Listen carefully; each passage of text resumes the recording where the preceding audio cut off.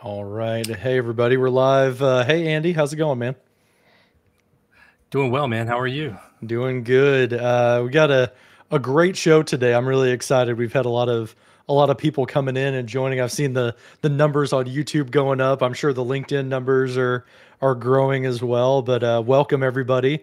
It uh, it seems that we've got an exciting topic today. So let us know in the chat where you're watching from, and uh, I'm ready to to talk Copilot, man. It's it's almost here. I can feel it. Yeah, this one's going to be really exciting. Um, I'm glad there's a lot of people that are really interested in this. Uh, I've been living in the Copilot world for a while now, um, mentally since it was announced, uh, hands-on with it uh, mm-hmm. here for uh, the last little bit, learning a lot. Uh, excited to share a lot of that with the community, but also if you're out there and you are working with it or um, you're really curious about it, let us know in mm-hmm. all the various chats, whether you're on YouTube or LinkedIn or uh, Twitter or wherever you're coming from. Uh, let us know uh, what you think about it, what you're excited to try out with it, what you've learned from it. We're all here to to share, and we're just as excited to learn from all of you uh, as we are to share what we've learned uh, here uh, coming up. Yeah, yeah, we've been Andy and I. So we're in the early access program. We've both been using Copilot since uh, August, September timeframe, and what we're hoping to do today is more kind of be like your all-in-one, one-stop shop guide to what to expect with Copilot. Kind of you know what's going to be available starting in November. What's part of that general availability, what they call GA. You'll see the the term GA thrown around a lot. That's general availability. What is actually going to launch and what are we expecting to see? Um, we can't do demos yet because you know it's not actually GA, but um, with some experience in the background, we're hoping to, you know, basically collate all of the resources that have been out there. There's tons of blog posts, tons of videos, Andy, that we're going to show that um, they've been scattered. And we thought if we could bring everything together and kind of have like a, a co-pilot pre-launch party, basically, um, maybe this could be a resource for those that are looking to just get end to end what what's what can I expect in November, and then we can revisit again later on whenever we can actually live demo and get into like uh, you know the tips and tricks and things like that. Um, I see Daryl. You said you're gonna have to add chapters. I think we're definitely going to add chapters to this. And what we want to do as well is we want to um, cut this up into short videos or clips of some some sort so that we can release them that way. So um, you'll probably see between the sections. I think Andy, you want to do some type of you know like welcome to 365 deep dive we want to talk about word now we want to talk about excel we we might do a little bit of an intro into each area. That way we can cut it up easier for you. Um, so that you don't have to watch a two hour video if you don't want to later on. So, or you can watch a two hour video with chapters and you can put yep. it at double speed if you need, and you can get to the part that, uh, that you're really interested in. But I think you set the expectations pretty well. Um, we are approaching this from a information worker, fingers to the keyboard type level if you've been with us before, and many of you have, we we did a deep dive just a couple of months ago with Microsoft's Jeremy Chapman, where we talked about the Copilot service, how it operates, uh, the ins and outs, like behind the scenes, what uh, IT administrators need to do to prepare for Copilot, considerations for security and privacy, and so forth. Mm-hmm. This is not going to be that deep dive this is the deep dive where we want to set end user expectations. We want to really help you to understand what you can do with Copilot mm-hmm. and uh, to help you to temper your expectations to a certain point, but also to show you that this is going to fundamentally change the modern workplace. Because in the short time that we've had it, I think we can both agree that uh, it is game changing. And I don't like to use that word, that phrase loosely, but this is a significant leap forward in the way that an information worker can work day to day. And I'm really excited to dive into it. Yeah, I think the next six months or so are going to be very exciting as we all start to realize kind of that art of the possible and what, you know, connecting the capabilities with the needs that maybe we didn't even know we had. You know, we were doing this kind of drudgery of work stuff and didn't even really consider it drudgery until we have a tool that can help with it. I, I think everybody's going to be, you know, um, having having a new perspective on things. I think over the next like year or so, it's going to be pretty exciting to to be in IT. So, really, really agree with yeah. that. Awesome. Well, let's uh, let's dive right into it. Um, no pun intended. Microsoft 365 Copilot. What is it? What makes it up? We're gonna just cl- like very quickly do an overview, you know, kind of a reintroduction for those of you who haven't heard of Microsoft 365 Copilot. I don't know who hasn't at this point, but um, at the very basic level, it's three main components, right? It's bringing these large language models or generative AI built on on the OpenAI version of large language models.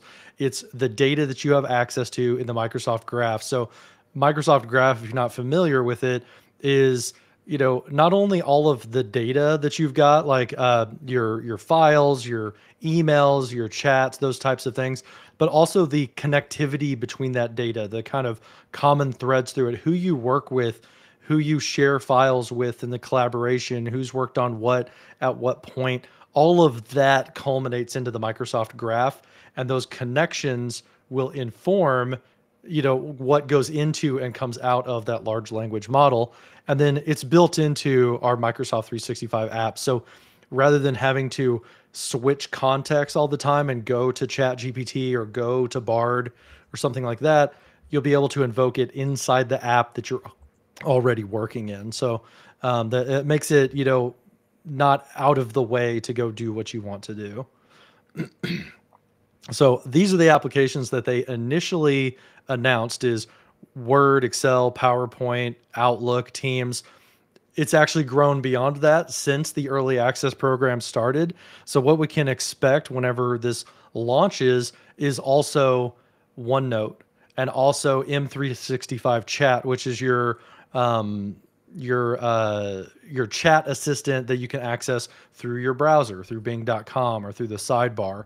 Um, it's also Microsoft Loop and being able to invoke it inside of Loop components uh, with using the slash command. It's also Whiteboard. So there's about seven or eight different endpoints now at launch as we as we get. So you can see that it's already starting to mature before our eyes before it's even publicly available. So that's really exciting. So all of this culminates, all this news and everything has landed us to this point, late October. November 1st is when Microsoft has announced general availability. And Andy, I don't know if you've heard like what does that mean specifically? What can we do on November 1st? I, I think it's a little bit unclear, right? Like I, I think we're going to be able to purchase licenses probably, but do you think like eh, are the provisioning of the tenants, things like that? Have you heard anything what to expect in your organization? So, from what I understand, on November 1st, Copilot is going to be available um, for the uh, enterprise uh, enterprises that are not in the early access program. They're going to be able to go through their Microsoft partners. They're going to be able to purchase Copilot licenses mm-hmm. for their workforce, and then they're going to be able to start uh, rolling out and implementing Copilot for that organization. That being said, just a couple of prerequisites there. If you're an enterprise organization, you're going to need, I believe it's uh, M365 E3 or E5 licensing, mm-hmm. and then the Copilot license on top of that. Uh, the Copilot license is an additional $30 per user per month. Mm-hmm. Um, on top of whatever the uh, the E3 or E5 uh, licensing cost is. Uh, so you're going to be able to purchase those for uh, your enterprise organization. That being said, if you haven't taken a look at the documentation on data privacy and security and some of the inf- uh, information on how to prepare your infrastructure and your organization for Copilot, I would recommend that you do those things before you purchase the license and set this thing free in your organization. Mm-hmm. Uh, you want to make sure that users have access to just enough information to do the work that they need to do, and that you're not oversharing. And oversharing, I think, is kind of is the one concern that uh, a lot of organizations have, especially when you're introducing things like a generative AI into uh, into the equation.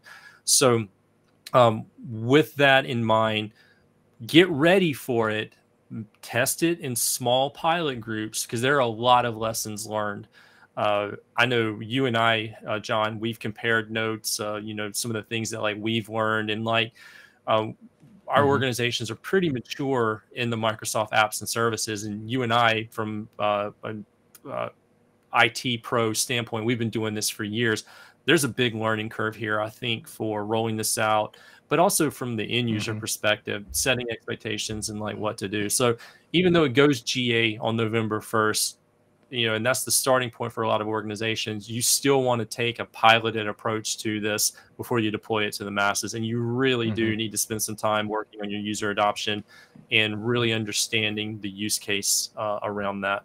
Yeah. So, um, a great question from Daryl here. Isn't it 120 grand additional or annual commitment up front. That is correct. So when Andy says, yeah, it's $30 per month on top of your E3 or your E5, that is you need a minimum of 300, right? So this is for organizations that have more than 300 seats. Um, I haven't heard one way or another. I'm just going to speculate wildly at this point. I believe that that is you know there's a cost up front right that needs to stand up this instance of the llm for your organization. And i think that microsoft is just the scale needs to be minimum of 300 to make that cost work out. That's from my own perspective i haven't heard either way but um, that would be what i assume the situation is that has that minimum of 300 users. Um, it's it's difficult for us as well as as MVPs because like we're both in organizations that have more than 300. I mean, I've got there's like 400,000 people in my organization. Uh, Andy's like, what like 160,000 and growing or something like that. So we have that, but you know, I I'm not I can't demo. I'm not going to demo out of my EY environment, obviously, and uh, so it's a little bit difficult. Like you're going to see a lot of us MVPs try to figure out like how are we going to show this stuff off? Because I don't have 300 seats in my demo tenant to, have a safe area. So we're, we're going to have some interesting times as we launch here, but 300 is that minimum. Um, yeah, it makes it difficult to safely show off the content, but you know, we'll get there. I'm sure, I'm sure Microsoft will figure out a way for people to show it off and, and demo it in different situations. Um, but yeah, if you're looking to prepare for the November date, after the November date, even, and like get yourself ready for Copilot, get your organization ready. There is lots of information on learn.microsoft.com, the actual documentation for what you need to think about to prepare. There's a great uh, Microsoft mechanics uh, video that Jeremy Chapman and them published that has, you know, step by step. And if you want long form version of that, we were fortunate enough to have Jeremy on with us about three months ago or four months ago to talk about preparing your organization. So on our channels as well, you can go back and and see what we deep dived about how to prepare and get ready for it.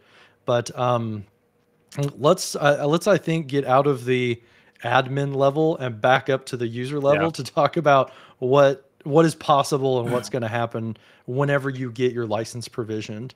So these are this is the start of us collating the data for you gathering it all together and i've put together these summary slides and i've only got i think two of them that explain at the very beginning what copilot is going to do. I've prepared these for my organization. I've taken a lot of the detail out of it to make it not quite such an eye chart but essentially there are seven different endpoints or eight different endpoints if you count m365 chat and across the board, if you could think about a common thread between these, we're going to look at each one individually. But across all of them, there's two main themes that have kind of surfaced for me in my experience of using these tools. and that is you can use Copilot out of the gate to consume content, and you can use Copilot to help you create content. So that's the way I've been kind of thinking about it is am I in a consumption mode? Am I in a content creation mode uh, whenever I'm using Copilot in my own world? So with Teams, that's in three different categories from what we have used so far. There's the M365 chat inside of Teams. I find that I use Copilot in Teams the vast majority of the time compared to in the other endpoints because I happen to have Teams up on my screen the majority the majority of the day, right? And I'm not switching contexts. So M365 chat that surfaces for you as um, sort of a chat bot. It is a bot that you will discuss and have conversations with. It's installed as a Microsoft Teams application, and then you just chat with it like you've been chatting with any other Teams app. It's called M365 Chat, unlocks all of that functionality where you can get executive summaries, generate uh, key key actions, ideate with it, you know, talk back and forth, have a very conversational experience. It's also in Microsoft Teams as a group chat or a one-on-one chat helper, and we'll talk about this in the deep dive into Teams. But you can get context and ask about a specific conversation that you're having.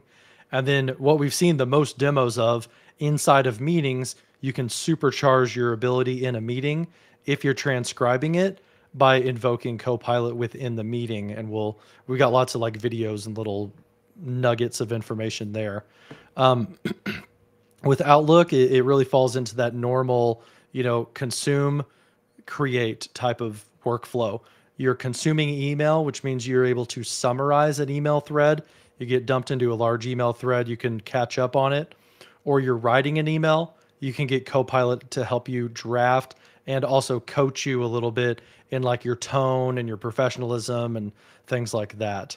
Same thing with Excel. You can analyze the data, you can consume and pull insights, but then you can also take that data and visualize it or turn it into pivot tables things like that. So again, you're creating something within Excel. Same story with Word, summarizing documents, helping you draft and write documents, help you summarize and ask questions of slide decks, help you again draft slides. It's a good starting point to kind of start out with some slides that have content on it. It may not be 100% accurate all the time or the way you would have worded it, but it's a good place to start whenever you're in PowerPoint. So that's kind of the base functionality within M365, the traditional apps of Word, Excel, PowerPoint. Moving out to some of these kind of MOCA apps, right, or or modern collaboration type of apps inside of OneNote, same deal. You're either summarizing and consuming your notes and getting insights out of like a big brain dump of notes, or you're ideating, you're creating, you know, to-do lists or actions or, you know, sample meeting agendas, stuff like that. Um, whiteboard's a little bit interesting. I think this is what we have probably the least information on, Andy. But um, there's there's three main core competencies from my experience, and that is that you can you can create content with your whiteboard. So I don't know where to start. I need a bunch of sticky note ideas you can say, "Hey, Copilot, what do I need to know to, you know, start our ice cream shop that we're going to do business planning for?" And it just gives you raw content on sticky notes. If you've got a bunch of ideation you've done and you're just literally throwing things at the virtual digital wall and you've got it all messy and unorganized, you can select those notes, you can hit categorize, and then it will find common threads within those sticky notes and give you some common themes and organize those notes for you and kind of group them together. And then one of the neatest things I think of Whiteboard with Copilot is that you can summarize a whiteboard. So if you've got this crazy complex whiteboard situation, then uh, you can say, give me a summary. Like, what is this whiteboard telling me? And it creates actually a loop component inside the whiteboard that will give you the key insights, summarize like what you know what the whiteboard's talking about, some action items the whiteboard that it can sense, stuff like that. And I think it's interesting. Daryl probably has a lot to say about this, but when we saw demos of this, we're like, why why is it like jamming a loop component into it? And my rationalization that I've thought about as I've you know, kind of noodled on it a while, is I think there's two main reasons. The loop component gives you a rich text area, so it can give you bullets and you know headers with bold text and stuff like that. The second thing is it's really powerful to use a loop component because now that is portable and I don't have to share the entire whiteboard in order to share a summary of the whiteboard. I can just share the loop component, you know, standalone. So in in my explanation or in my experience with Copilot in Whiteboard, I've actually like, you know, think that it's it's a great thing that it tends to be a loop component, gets people exposure to that really cool tool. Same type of thing in loop. You're either creating content, you're summarizing content. Don't want to belabor that too much.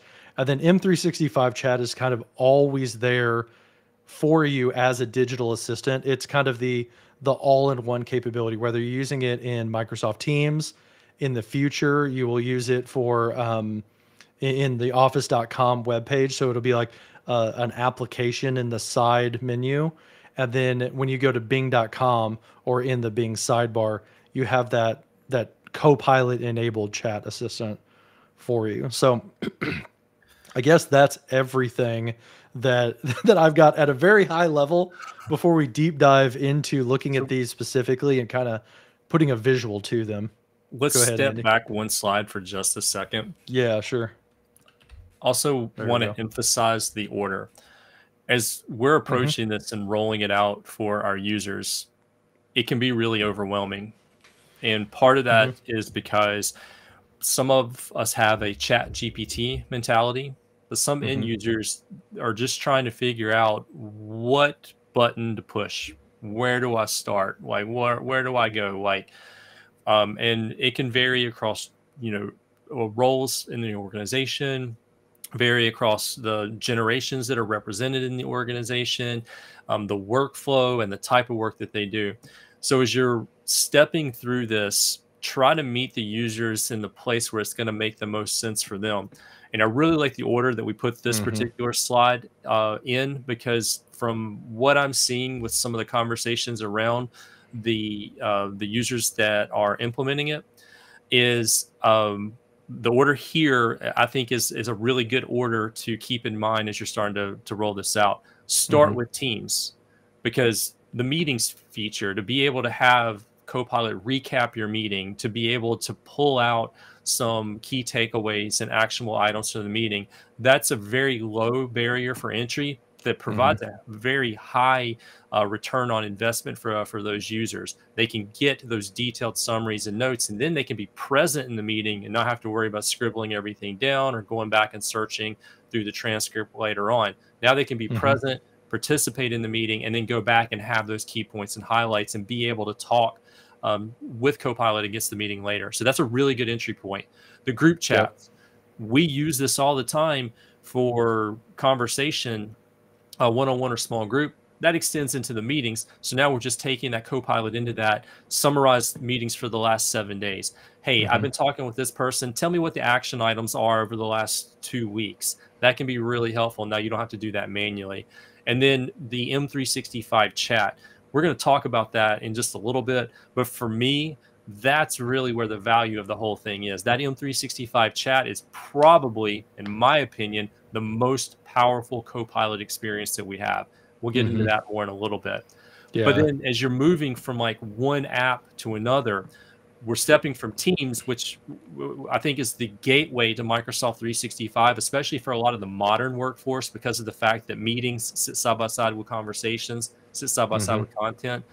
For a lot of information workers, Outlook is still king for communication. So to be able yeah. to go into Outlook and say, okay, summarize this email thread and give me the key takeaways because I'm not reading all that. You know, it's um, too long, didn't read. Uh, that's super, super helpful. And then you start moving into the Office applications, Excel, Word, PowerPoint. And that's where um, you're going to really start to hit home with people in certain processes. If I'm in data analytics, Excel, here's the things that you're going to be able to do with it. And we can meet them mm-hmm. where they actually work. So the order that you have here, as uh, I would suggest taking a look at something like this for your organization and figuring out how you're going to be able to meet those end users and show them how Copilot mm-hmm. can help them in their moment of need and then move into other processes as they mature and get more familiar with it. Yeah. Yeah. To, to highlight the question, just to answer it up front, like what's your personal favorite way to use Copilot? For me, what I use the most is M365 chat inside of Teams um, because that's where I am the, for the most part. I think the most magical experience is meetings. So if you're an organization that is able to transcribe meetings and you know able to get the benefit of that, um, that that is the magic. If you're going to demo this and kind of get you know like mind blowing functionality right off the bat, but the day to day for me is mostly Microsoft Chat because that's where I can kind of keep that conversation going and uh, go back and forth several turns. So that that's my favorite personally. What do you think, Andy? What have you been using the most? Or the thing that I like the most is the ability to reference files that I have in OneDrive, Teams, and SharePoint, whether I'm in Word, whether I'm in PowerPoint, whether I'm in mm-hmm. M365 chat, to be able to reference those files and to be able to summarize and consolidate. One of the, the, the demos that I can't wait to be able to show hands on is creating a, a presentation uh, and being able to reference a mm-hmm. uh, business plan along with a specific customer that I'm that I'm working with in a, ficti- a fictitious scenario, but to mm-hmm. be able to reference content and have it automatically consolidate and summarize and um, merge that content together for me, that is I love that feature. That that's mm-hmm. amazing, mm-hmm. and it, it extends yeah. to a couple of the different co-pilot uh, experiences uh, here. Mm-hmm. Michelle, here's a, a, use case that he's talking about is creating three to five points to prepare him for an MTR boot camp. You know, and in his role, he's selling Microsoft Teams Room, right? And the latest functionality. He needs to be the latest up to date information. So he focuses on emails and meetings just from the last three weeks, right? I don't want out of date data. So like putting that that little, you know, almost like constraint on Copilot to say I'm looking for the latest data in the last three weeks. That's really helpful for him. I would say a personal uh, the prompt that I like the most so far has been um, I accidentally did a thumbs up on my camera. Um, the the favorite thing that I have done is um, getting executive summaries and project updates. So as an architect, I'm kind of looking at the bigger picture of like where these different projects are and and what our progress is in different programs. So I like asking it to give me an executive summary of a specific project and I don't want just a paragraph of text. I want a little summary of what the project is about. I want a bulleted list of the key achievements in the past 30 days. I want a bulleted list of the issues and challenges that we're running into. And then I want a bulleted list of what has the team said that they're going to work on for the next month, right? I kind of want that like snapshot in time of where where have we been and where are we going. Um, that for me has been just wonderful because I it goes across all of my slide decks, all my emails, all of the meeting updates that I have, and um, able to kind of like snapshot that into a project or a program update has been powerful in my role specifically. So um, should we jump into Word? I saw that uh yeah. Daryl was saying you better get ready for your, your intro for Word. All right, let's jump in and talk about the first one, which is Copilot in Word. In this 365 deep dive session, we're going to be talking about Copilot in Microsoft Word. So with that, let's go ahead and dive into the features. We've got a short little sizzle reel video here from Microsoft, which over uh, overviews some of the capabilities, and then we're going to talk more about what you're actually seeing here live. So as we dive in, I'm immediately uh, we're in Microsoft Word, and right away Copilot actually pops up uh, for the user. So you're going to see this as part of the uh, the experience. Uh, it's going to ask you, um, do you want to get started creating something new and how it can uh, uh, assist? with just a simple prompt, a simple um, a request using natural language, it's going to go ahead and actually start generating content for you. you can interact with Copilot while uh, you're in the main document itself, but you're also going to be able to interact with Copilot through the Copilot panel that shows up on mm-hmm. the uh, right hand side of the screen. And you activate that with the Copilot option that is up in the ribbon. Now, this particular video uh, is publicly available. This is from Microsoft's uh, um, uh, website. And notice that the Copilot logo is actually using the logo from a few weeks ago. Uh, it hasn't been updated to reflect the new yeah. logo, but it's still the Copilot uh, service. So we got the Copilot panel. Unless I know of another phrase to refer that as, it's going to be the Copilot panel uh, moving forward. So two different mm-hmm. ways that we're going to be able to interact uh, inside of uh, the presentation. Uh, we yeah. can go ahead and um, walk I, I wanna, through it. We'll talk a little bit more about it. I want to roll back a little bit and point out that this is something that you're going to do a lot in Copilot for Word and PowerPoint for that matter, and and chat is referencing files and people and meetings and things like that. you do that with the slash command. So you'll mm-hmm. do a forward slash to start searching for data. And you can see in this example that they are searching for notes, right? They want a proposal and they want to leverage some notes and they want to mention a roadmap that they already have in Word as well. So being able to pull in right resources to say, okay, the graph is like ridiculous. I want to kind of like narrow it down and narrow my focus to I know where the good data is. So focus on these items. So I wanted to point that out is you're you're able to reference things so that you get more relevant results out of that. I'll go ahead and hit play again for you, Andy. So we've created the draft. Now we can use the Copilot panel and we can continue to work with the content that's there. We can continue to build out uh, the actual document. Now we might do some of this by hand. We might go and insert the images that we want by using the insert tab up at the top, but you can actually do that through the Copilot panel along the side. But not only are we able to um, uh, work within that and add content to it. But we can also use that to go back and reformat uh, the content. We can change mm-hmm. the tone. We can change the language that's being used uh, inside the document. We can summarize a complex section, maybe turn it into bullet points so that the readability is uh, uh, easier for uh, whoever's um, going back and reviewing that later.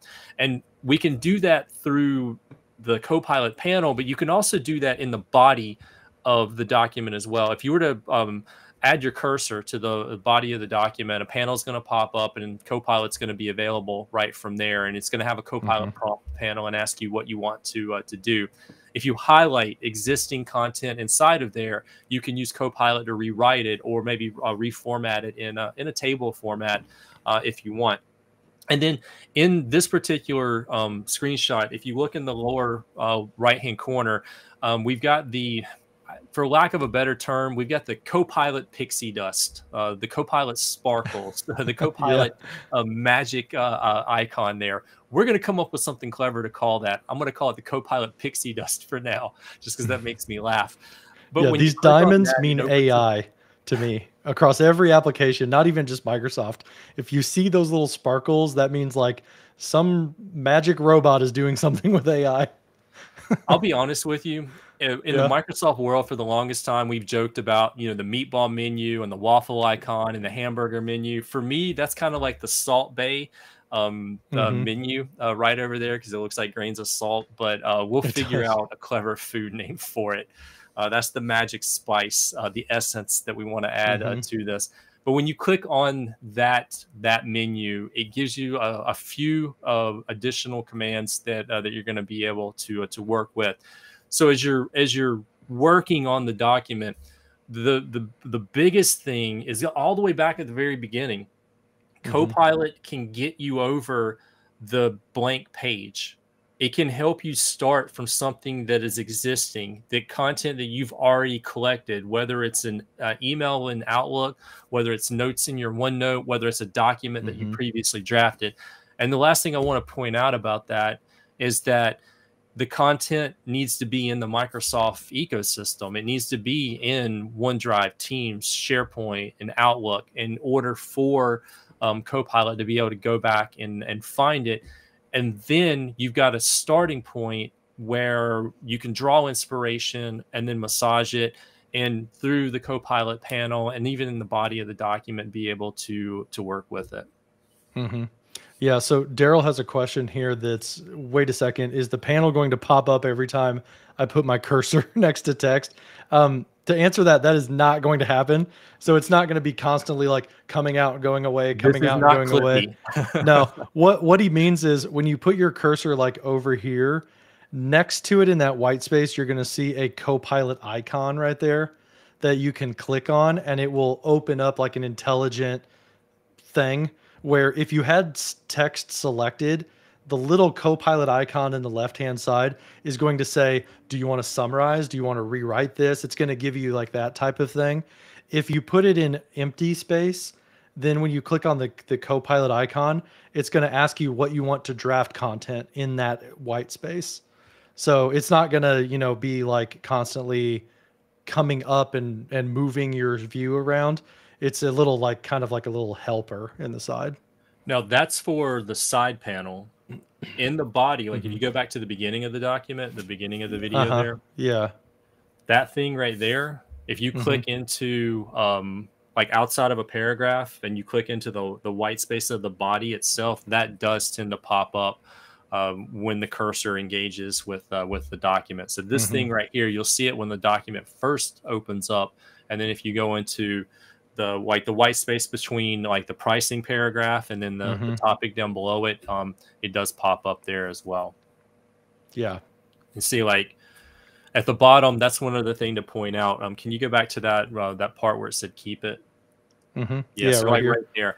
Once it generates something you have the option to keep it. They've even updated this a little bit to adjust it to regenerate and what I'm seeing mm-hmm. now is it actually gives you a couple of different drafts to review. So if you've got like a small paragraph, it'll give you two or three different versions of that for you to kind of pick and choose what you want. Yeah.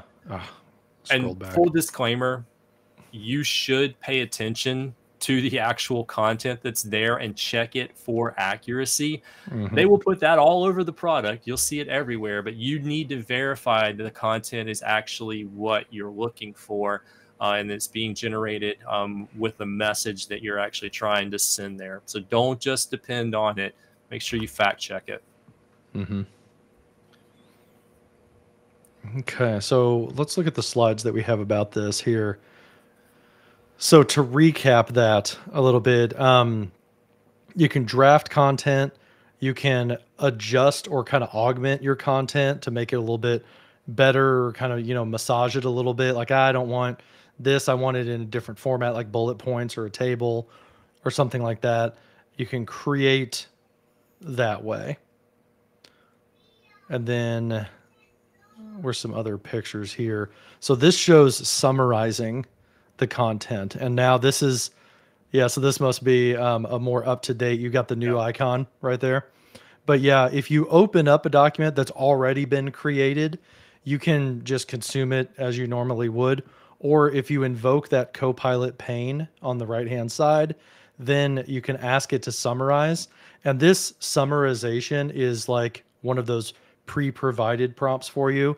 You'll see it up here at the top as a suggestion, or if you click the sparkle down at the bottom, it, one of those like recommended prompts will uh, will tell you, hey, do you want to summarize this?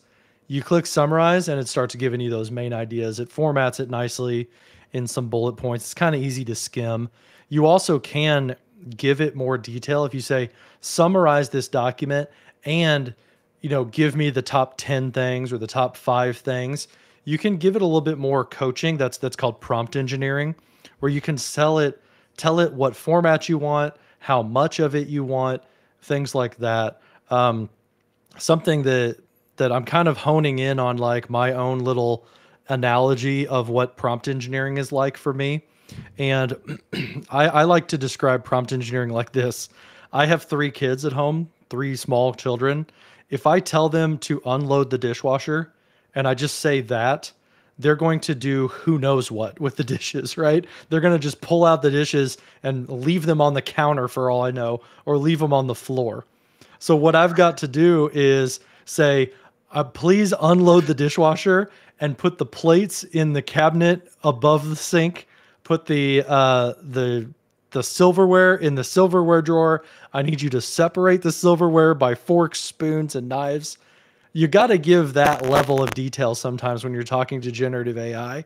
You want to tell it exactly what you want to do and don't assume that it can just infer what you want based off of a short like ah summarize this chances are you're going to get a better output if you give it a, a more clear definition of what you want so uh, summarize this document could be a little bit dangerous because you might want something a little bit different keep in mind you can add that to your prompt as well so along those lines, Microsoft does have some publicly available information around some of the prompting guidelines. Yeah. And the four main things that they're recommending is you give it a goal. What do you expect from Copilot? You provide a little mm-hmm. bit of mm-hmm. context. You give it a source. What should it pull from? And then you set the expectations you need to think of it as a conversation and know the first time you ask it for something is not necessarily the end result that you actually want. So you say, mm-hmm. summarize this document, we get four bullet points, but those four bullet points might not be all encompassing or they might be a little wordy. So then you could say, okay, summarize this documents and be a little bit more concise with the mm-hmm. response or um, divide it up into a couple of subtopics and you're yeah. you're going to be conversing against it to to get those uh, those responses back. Yeah, I want to share this a little bit. We'll put this this in the the um, chat, but uh, at Work Lab they had the art and science of working with AI. This is what Andy was talking about. Is this kind of like anatomy of a prompt?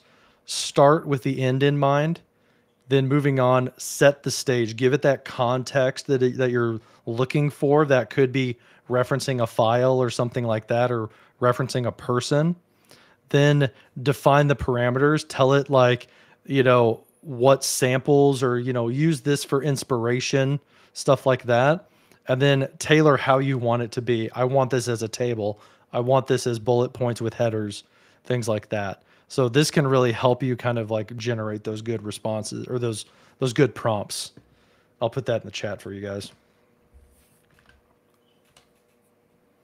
Yes, Work Lab rocks. I love the Work Lab. Um, definitely subscribe to that podcast and the RSS for that um, because they have some gold in those pro uh, posts. So yeah, Copilot is like a six to ten year old child. Um, you have to act like you're, you know, giving it giving it very specific instructions about what you want. so uh, we might have gotten ahead of ourselves a little bit, get diving into prompt engineering and things yeah. like that. So what well, else do we want to talk also, about uh, here? That's also something to, to keep in mind. There are guardrails mm-hmm. against that you need to stay within. Rather, there are guardrails you need to stay within. Mm-hmm. Um, you can you can try to do the type of prompt engineering that you see people doing on social media. It's not going to work um, uh, necessarily here in the in the Microsoft Copilot world. There are things that mm-hmm that it can do and can't do. We'll show you the service description in, in just a moment. But what you see here are some core capabilities. Help me to get started, create something from something that's already existing, consolidate a few mm-hmm. things, merge them together, give me something to work with from there summarize this document, summarize with bullet points, make more concise, rewrite this section, make it more uh, readable. Those are the things that it uh, does really well. And those are the things that it excels at today. And it's a service that's very much in its infancy and it's going to grow. So if you approach it like that, if you approach it like you're talking to a six year old, and you set those expectations, then you're going to have a lot of success in uh, in working with it. Mm-hmm. Yeah. So here is the service description from Microsoft Learn or learn.microsoft.com. And we'll, again, we'll put the link for this in the chat too. Um, but you're able to write and summarize, get drafts, draft content. Remember, it can be usefully wrong. So, you know, you need to verify for accuracy, things like that. Um, it can uh, add context, so it can rewrite things, it can expand upon ideas, summarize documents for you um, stuff like that. It can understand the tone of it if it's you know more casual, more professional, something like that. And then um, you know you can you can kind of like play devil's advocate with it a little bit, you know, and say, you know, oh, what am I missing here? Or, uh, you know, g- give me a contrarian's perspective on what this document is talking about. You can kind of like role play with it a little bit as well, which is pretty cool. okay. Copilot in Excel. So in this section of 365 Deep Dive, we're going to be talking about Copilot in Microsoft Excel.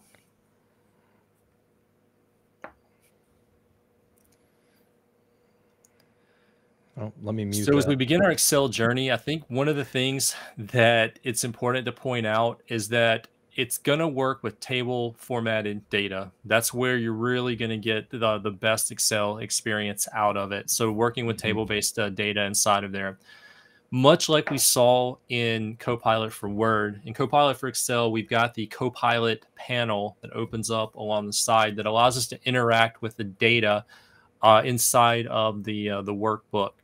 As far as the capabilities here, um, you're going to be able to do things like have it to identify insights. It's actually really good at doing that, um, breaking down insights in that table, uh, in that table, and identifying trends that you might not immediately see um, just parsing through uh, raw, raw numbers you're mm-hmm. going to be able to have it work with things like time frames. So, for example, one of the things in the sidebar you see over there is change from quarters to months. It can do things like that really, really quickly. Versus if you were mm-hmm. to try to do some of that, um, it would be much more uh, timely uh, or time consuming rather uh, for you to be able to do that. And then once it starts interacting with that data, you're going to be able to do things like insert visualizations, charts of varying kinds. And I think what they've done a really good job of is working with um, the um, machine learning and analytics on the back end from years and years of experience working with Excel, and it knows intelligently what format um, to present that data back to you in, in a visualization. It knows um, how to help you conditionally format data because it's got all those years of learning on the on the back end, all, all those best practices. Uh, for years, I've referred to. Um, there's a couple mm-hmm. of visualization guides that Microsoft has that are really good. I've presented those in, or shared those in trainings, and this is going to do a lot of that for you. And so you don't necessarily have to go and find that style guide uh, to do that. And it's really going to help uh, with that. Mm-hmm. Yeah, three things that I think is really cool about Copilot in Excel, and I have to admit, I am not an Excel power user. I don't use it very often. I kind of use it begrudgingly when I have to, to be honest.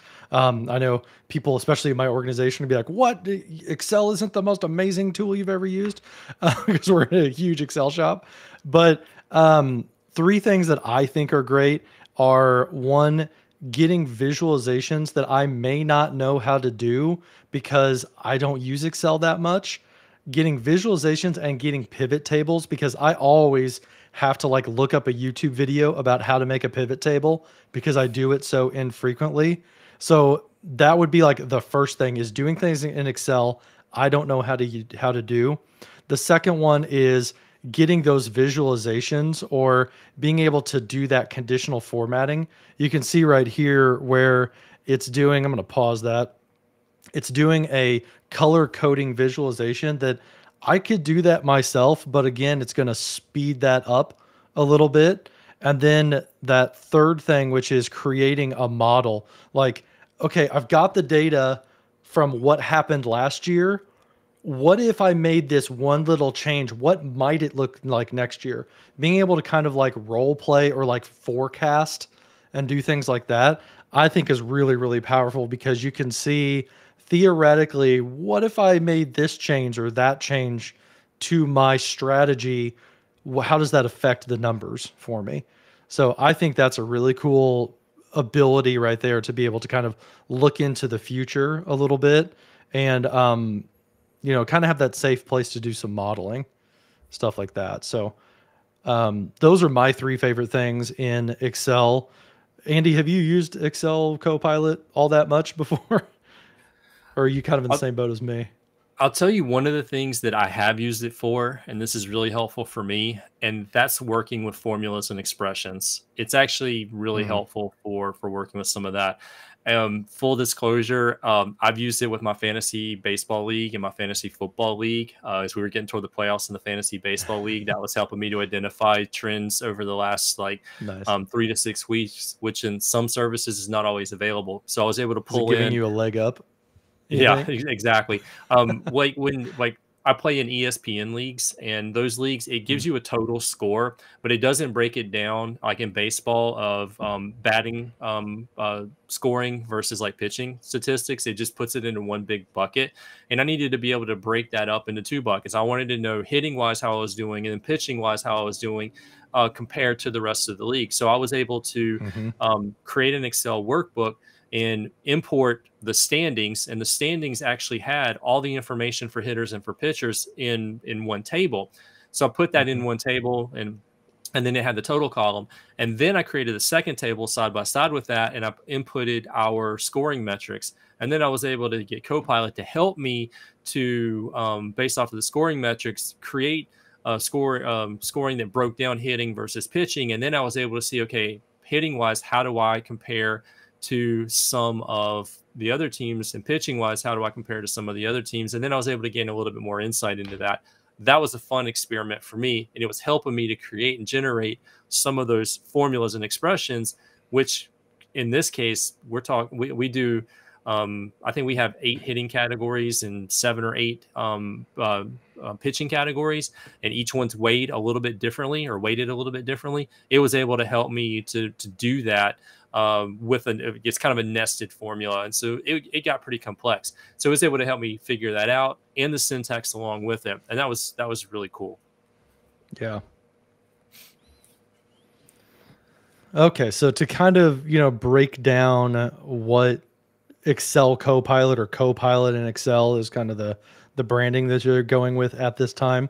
It's um, some ideas are breaking down sales by channel, you know, asking questions about your data. You know, what are the key trends? What are the things that that you think are contributing to, you know, an increase in sales, a decrease in sales, whatever, um, stuff like that. Reformatting the data into other visuals. That's something that that has been helpful to me over the past couple months. You know, here and there creating charts that you may not know necessarily how to create or kind of like a pain in the neck to create you can ask it to create those for you. And you can also have it you know tell you what is the best way to visualize this data. Um, that's something i struggle with is like should this be a bar chart or should this be a line graph or a pie chart? You know um, copilot kind of kind of help you with like the best way to visualize as well which is pretty cool um, the feature description for this, again, from learn.microsoft.com, is um, that you can query data in natural language. You don't have to, you know, think in terms of formulas. You can uh, reveal those like insights, correlations, do those what if scenarios, that kind of modeling that I talked about, uh, generating models based on questions. What if I change this? What if I change that? How does it affect the data? Um, and then again, create those visualizations, ask for recommendations stuff like that. So, um, anything else? Uh, let's see here. Fairy Geek Mother has a question that is for those with licenses, will Copilot replace the current functionality like data and Excel, designer, stuff like that? From what I've seen, no, it doesn't replace any of those other features. Um, my like PowerPoint designer, it, it kind of augments PowerPoint designer for me, right? Um, I can do PowerPoint Designer without Copilot, or I can ask Copilot to draft some slides for me, and it leverages Designer as kind of its engine to create the layout. So I haven't seen anywhere where it's going to replace functionality. I've just seen where it's going to add to it. Yeah, and this I, I would second that. It doesn't take anything away from the application. It just gives you a new way to interact with those features and those functionalities using the mm-hmm. Copilot tool and natural language. Uh, sometimes it's easier for a user to say, hey, can you just highlight all of these things that are above this mm-hmm. threshold in green versus trying to figure out how to do the formula. If you know how to do it, you can still go in there and do it. This just gives you a way to ask it uh, to do that. Uh, uh, without having to have all of that uh, in-depth uh, in-depth knowledge. Mm-hmm. Sounds good. All right, you ready to move on? Uh, one. I think we got. Hold on. There's one more down there. Let me just read that real quick. This is oh Daryl. Yeah, Daryl, I agree. I don't have the skill to to fact check a lot of the numbers either to understand. You know, is like is it hallucinating or not? Um, that's something where like you, this isn't going to replace people, right? Like you need to have the skills to know if it is going wildly out of bounds or not. Um, you need to understand the data. Like going back to Microsoft Word, draft me something um, about a topic. I need to understand that topic enough to know if it's giving me nonsense or not. You know, so like you still have to have these these soft skills and understand what you're doing and not just fully trust it uh, to do that. So that's a good thing to point out, Daryl, for yep. sure. Okay, so why don't we move into an app that we're more familiar with? Uh, I use PowerPoint all day, every day. I feel like I live in PowerPoint. So this is more in our wheelhouse a little bit. I'll go ahead and hit play for us. So in this section, we're going to be talking about Copilot in Microsoft PowerPoint. Copilot in PowerPoint is going to help you get over the blank slide starting point. You can actually go in and start generating a presentation based off of an existing document. So, for example, if you have a proposal that you've already drawn up, the Copilot application is going to be able to go ahead and start building out a PowerPoint presentation for you, uh, including a number of uh, different slides, content within those slides based off of the document that it's pulling in from, but it's also going to try to intelligently add um, a theme to that as well as visualizations to support that. Now, this is the starting point. This is to show you the art of what is possible. You don't have to leave it in the form that it actually uh, gives it to you. Um, but taking that that deck and having eight or 10 slides to start from gets you over that initial barrier. And then it's just a matter of let's clean it up and polish it. Let's add in the information that we want and then start to visualize it. Mm-hmm. But I think we both know that when we are deeply invested in the world of PowerPoint, we want a whole lot of control over everything from the theme to the visualizations to the fonts to the way that that information is presented to the storytelling aspect of that they try to implement some of that um, based off of all of the research and all of the telemetry that the uh, PowerPoint engineering teams have. So this is that starting point, but it is possible to do more. So when you're in here, you're going to be able to use the Copilot panel to do things like add an additional slide. And not only can you tell it to add a slide, but you can tell it to go ahead and populate it with content. Add a slide about this specific topic and mm-hmm. go ahead and drop that into my presentation. Or this slide is too wordy. Can you make it less wordy? Can you make it unlike Andy and get to the point? Uh, can you insert this image or replace this image with another uh, image? Can you copy the style from a previous presentation and go ahead and add that? And one other thing I want to point out on this particular part of the video as well, it will populate your notes. Uh, um, uh, mm-hmm as it's building it. And I think that's really helpful, especially if you deliver presentations and you use the notes uh, feed uh, inside of there. So not only will it build that or uh, that presentation and get you started, but it mm-hmm. will also populate the notes uh, as well for the for the speakers. So those things are are are really really cool. Now, um, John, what's your experience like as you've been working with uh, mm-hmm. with PowerPoint and generating some content there? Yeah, so for me, I think what a lot of people are going to really like about Copilot in PowerPoint is this initial area. I don't think it's going to make all of us lazy slide designers because from what I've seen, um, I think a lot of people are going to get the output and be like, ah, maybe I'll tweak this or tweak that, or maybe it's not quite the image that I was looking for, or something like that. Because you have in your mind the story that you want to tell, right?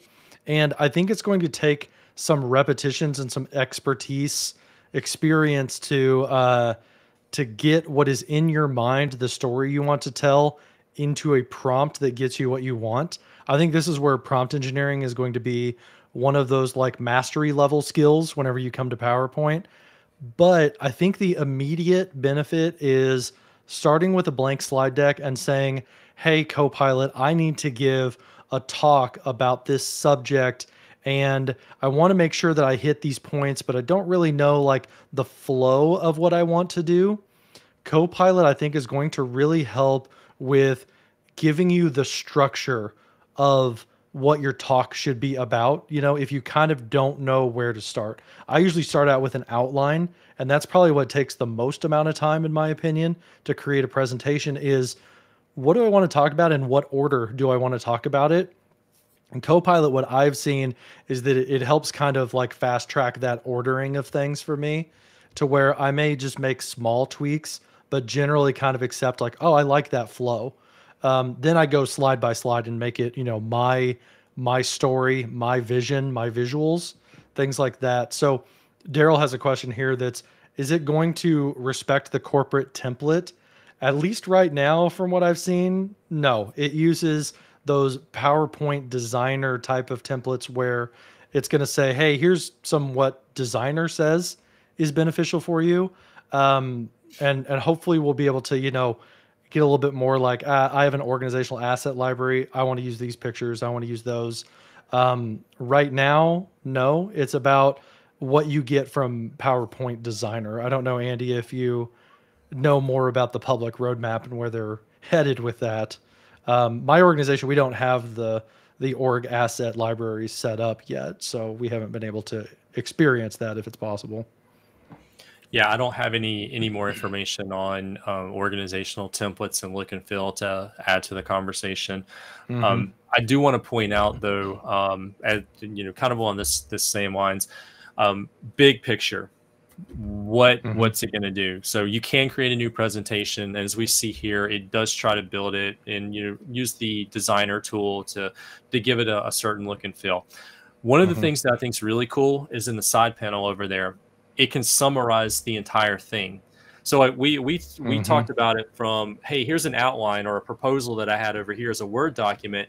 Um, generate a presentation, but it can also go the other way. You can go in and say, summarize this presentation and mm-hmm. give me, um, you know, bullet points around these 30 slides that are uh, that are in it. And I think that's actually really, really helpful, especially for like larger decks yeah. or like I'm going back to review something later that could be an outline that maybe I turn into a blog post, or maybe I turn into a proposal, or maybe I turn into a longer form document.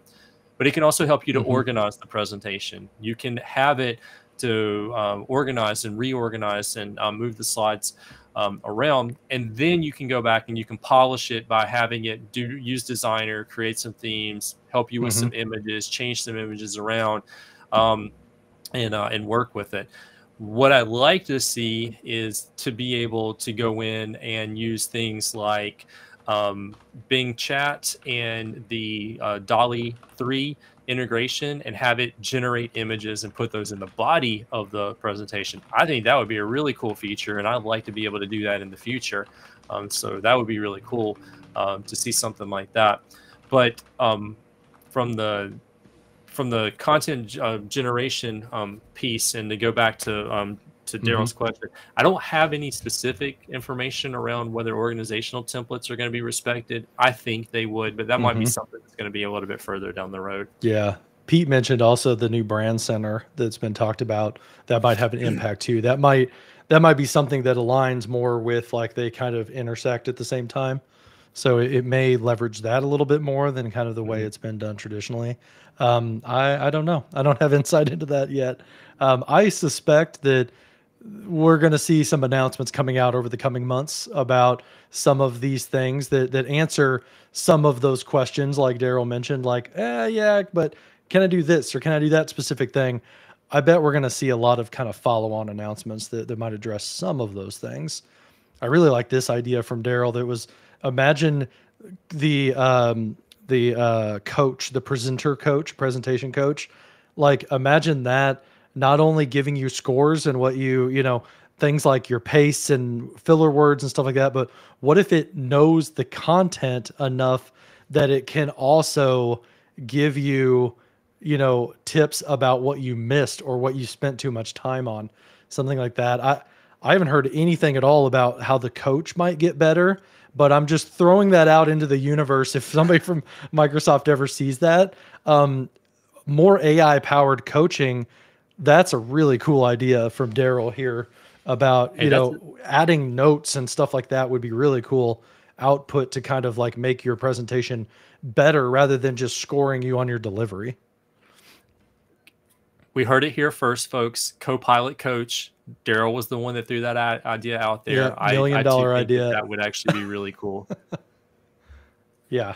As far as um from a service description um uh standpoint, you can transform written documents into the decks and as we saw speaker notes and sources. That's all really really helpful.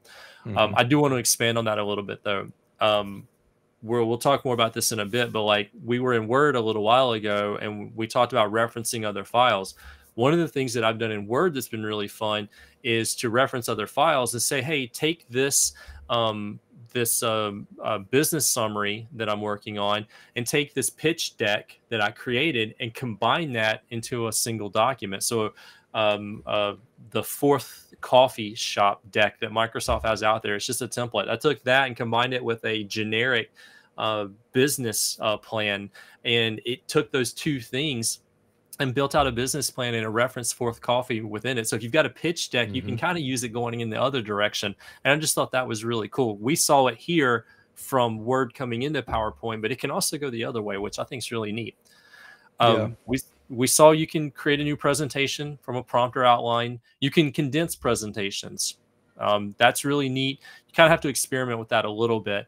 Um, and then not only with condensing presentations, I do want to expand on that. You can have it uh, get rid of some of the wordiness within a, a, specific slide. You can use it to condense that, turn it into a series of bullet points that's a little bit easier to read. Now, is that going to be like PowerPoint story best practice? Probably not. It still needs that person to be able to to parse through that. Um, but it can condense down wordy slides and it can make it something that's more approachable for the users.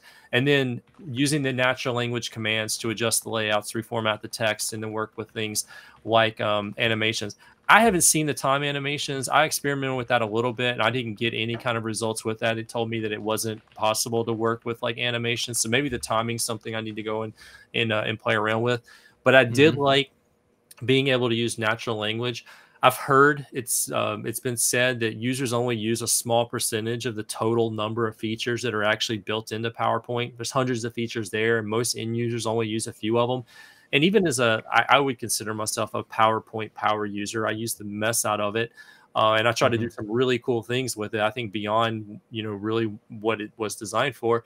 Um, sometimes I don't know where the menu is to find that command. It's you know it's it's buried down deep somewhere, and so being able to just go to Copilot and say, "Hey, I'm trying to do this," and have it work with me, that's going to save a whole lot of time. And I think it's also going to help a lot of users uh, to approach PowerPoint um, and and do some more advanced things. Mm-hmm. Yeah. Um, another thing to not you know skip over as well is this isn't listed in here yet but um, just that summarization as well. It, the service description kind of focuses a lot on uh, on like creating mm-hmm. stuff but if you get sent a slide deck that is just like a hundred slides you don't know what to do with it make sense of it you can ask questions of your slide decks and you can yeah. you know say what is this about? What are the key themes? What do i need to do about it? Why should i care those types of things. Um, Copilot is great about that for things that are sent to you. So again, kind of that am I creating or am I consuming? Think of those kind of two C words whenever you're dealing with Copilot. So cool. Um, all right. Moving on. Let's talk about email. We're getting into more of the collaboration uh, aspects of things. So in this section, we're going to be talking about Copilot in Microsoft Outlook. With Copilot in Outlook, you're going to be able to start drafting a response to um, a message inside of your inbox. You're also going to be able to draft a new message uh, right from there. Additionally, some of the really cool features is to be able to catch up on a conversation. So maybe there's a threaded conversation going back and forth amongst some teammates. You're going to be able to use Copilot to go and get you caught up on that conversation to identify key takeaways and action items inside of there and to summarize that into something that's a little bit more uh, digestible. Um, mm-hmm. additionally, mm-hmm. it's going to present it back to you in, a couple of different formats, um, and you're going to be able to kind of pick not only um, how you want to see it, but if you're generating a response, you're also going to be able to provide some parameters around that. For example, being able to determine whether your response is going to be short, medium, or long form, but also the type of the, the tone that you want to respond back with. That being mm-hmm. said, as we're looking at this, I'm not sure that my boss wants me to respond in the format of a poem. I'll try it and I'll let you know how I have goes. done it a couple times. Create a haiku about, you know, what I did this week and, you know, the key takeaways.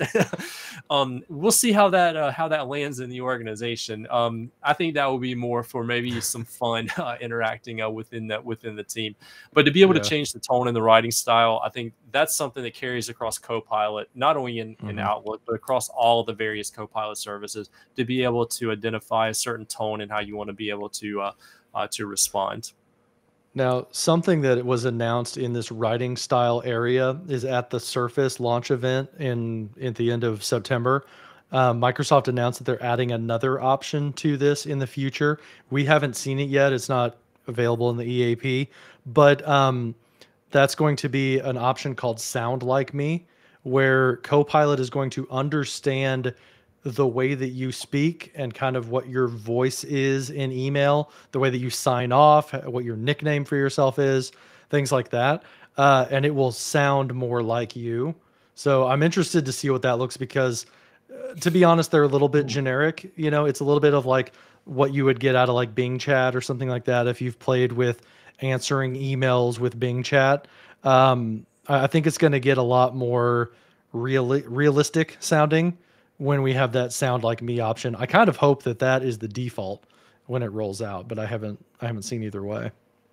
I'm really interested to test that feature because I've done some of that with Chat GPT, given it some samples of my writing. I've even given it some samples, a transcript of a presentation that I delivered and asked it mm-hmm. to do some text analysis. I'm really interested to see how the sound like me uh, compares yeah. to some of the other uh, tools uh, for this. That I think it's going to be a lot of fun um, to test out.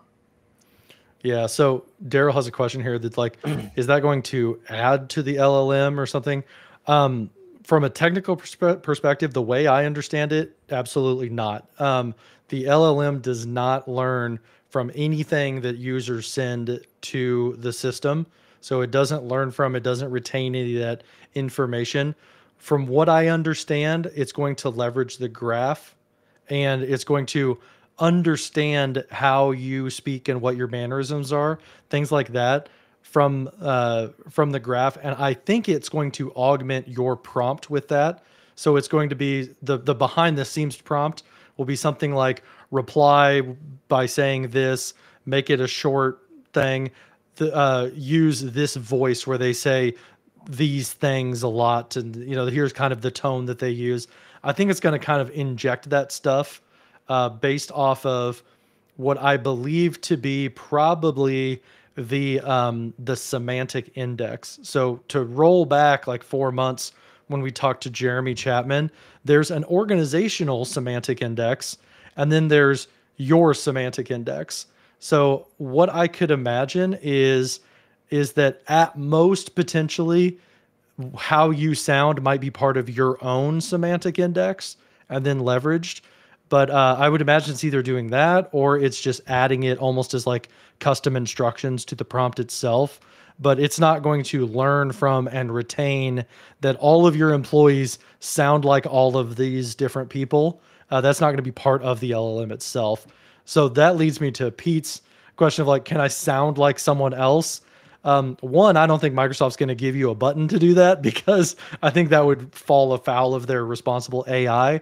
But um, at least in your organization, if the LLM doesn't learn what people sound like, you're not going to be able to say, I want to sound like my director, you know, because it's not going to you know, I, I don't think it's going to know it. Hopefully it will catch that from a responsible AI perspective. Now I was reading. You don't want to mimic people. Is can I make it sound like Pete the pirate and respond in that voice? I would like to test that as well. I haven't I haven't had a chance to do yeah. that, so I'll report back and let you know how the yeah. Pete the pirate voice comes out. Yeah, that could be a little bit of uh, red teaming that you do in your organization as well. It's like I want to sound like my peer over here, and see if it's like, oh well, yeah, that person uses a bunch of you know things that you know that may come out uh, may come across as like bias or something like that. That's something to watch for. So so we have yeah, guidelines in our organizations for our email signatures. I think we're going to have some guidelines around the sound like uh-huh. me uh, replies in uh, uh, in Outlook. Yeah, this is great. Sound like me is a little bit scary. Credential hacks, things like that.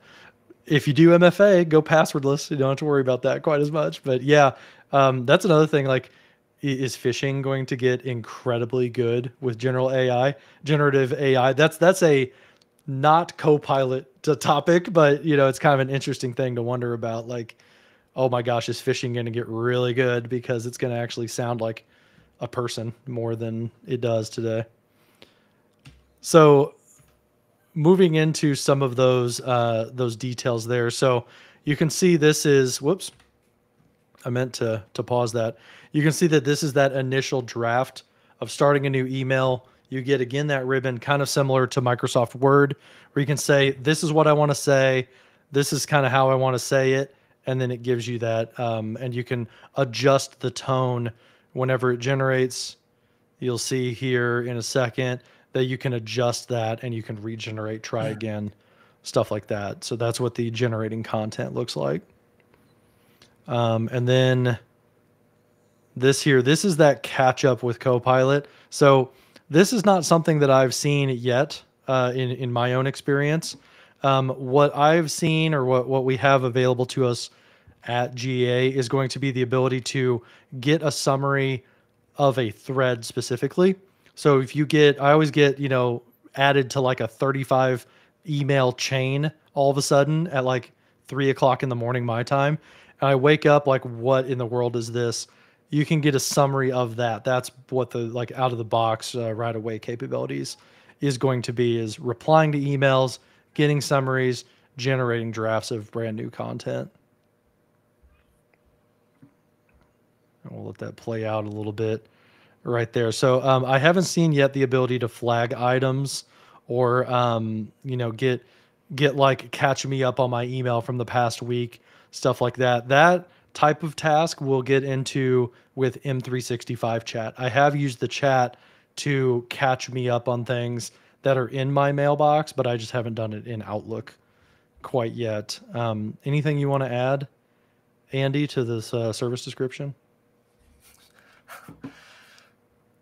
So, um, with the service description, I, I, think one thing to kind of point out is that um, there are a couple of different Outlook clients out there. There's the classic Outlook mm, client yeah. uh, for desktop. There's the modern Outlook client for desktop, which is also very similar to Outlook for the web, uh, OWA, OWA. And mm-hmm. um, the experience is going to vary and it's going to be heavily weighted toward the modern clients.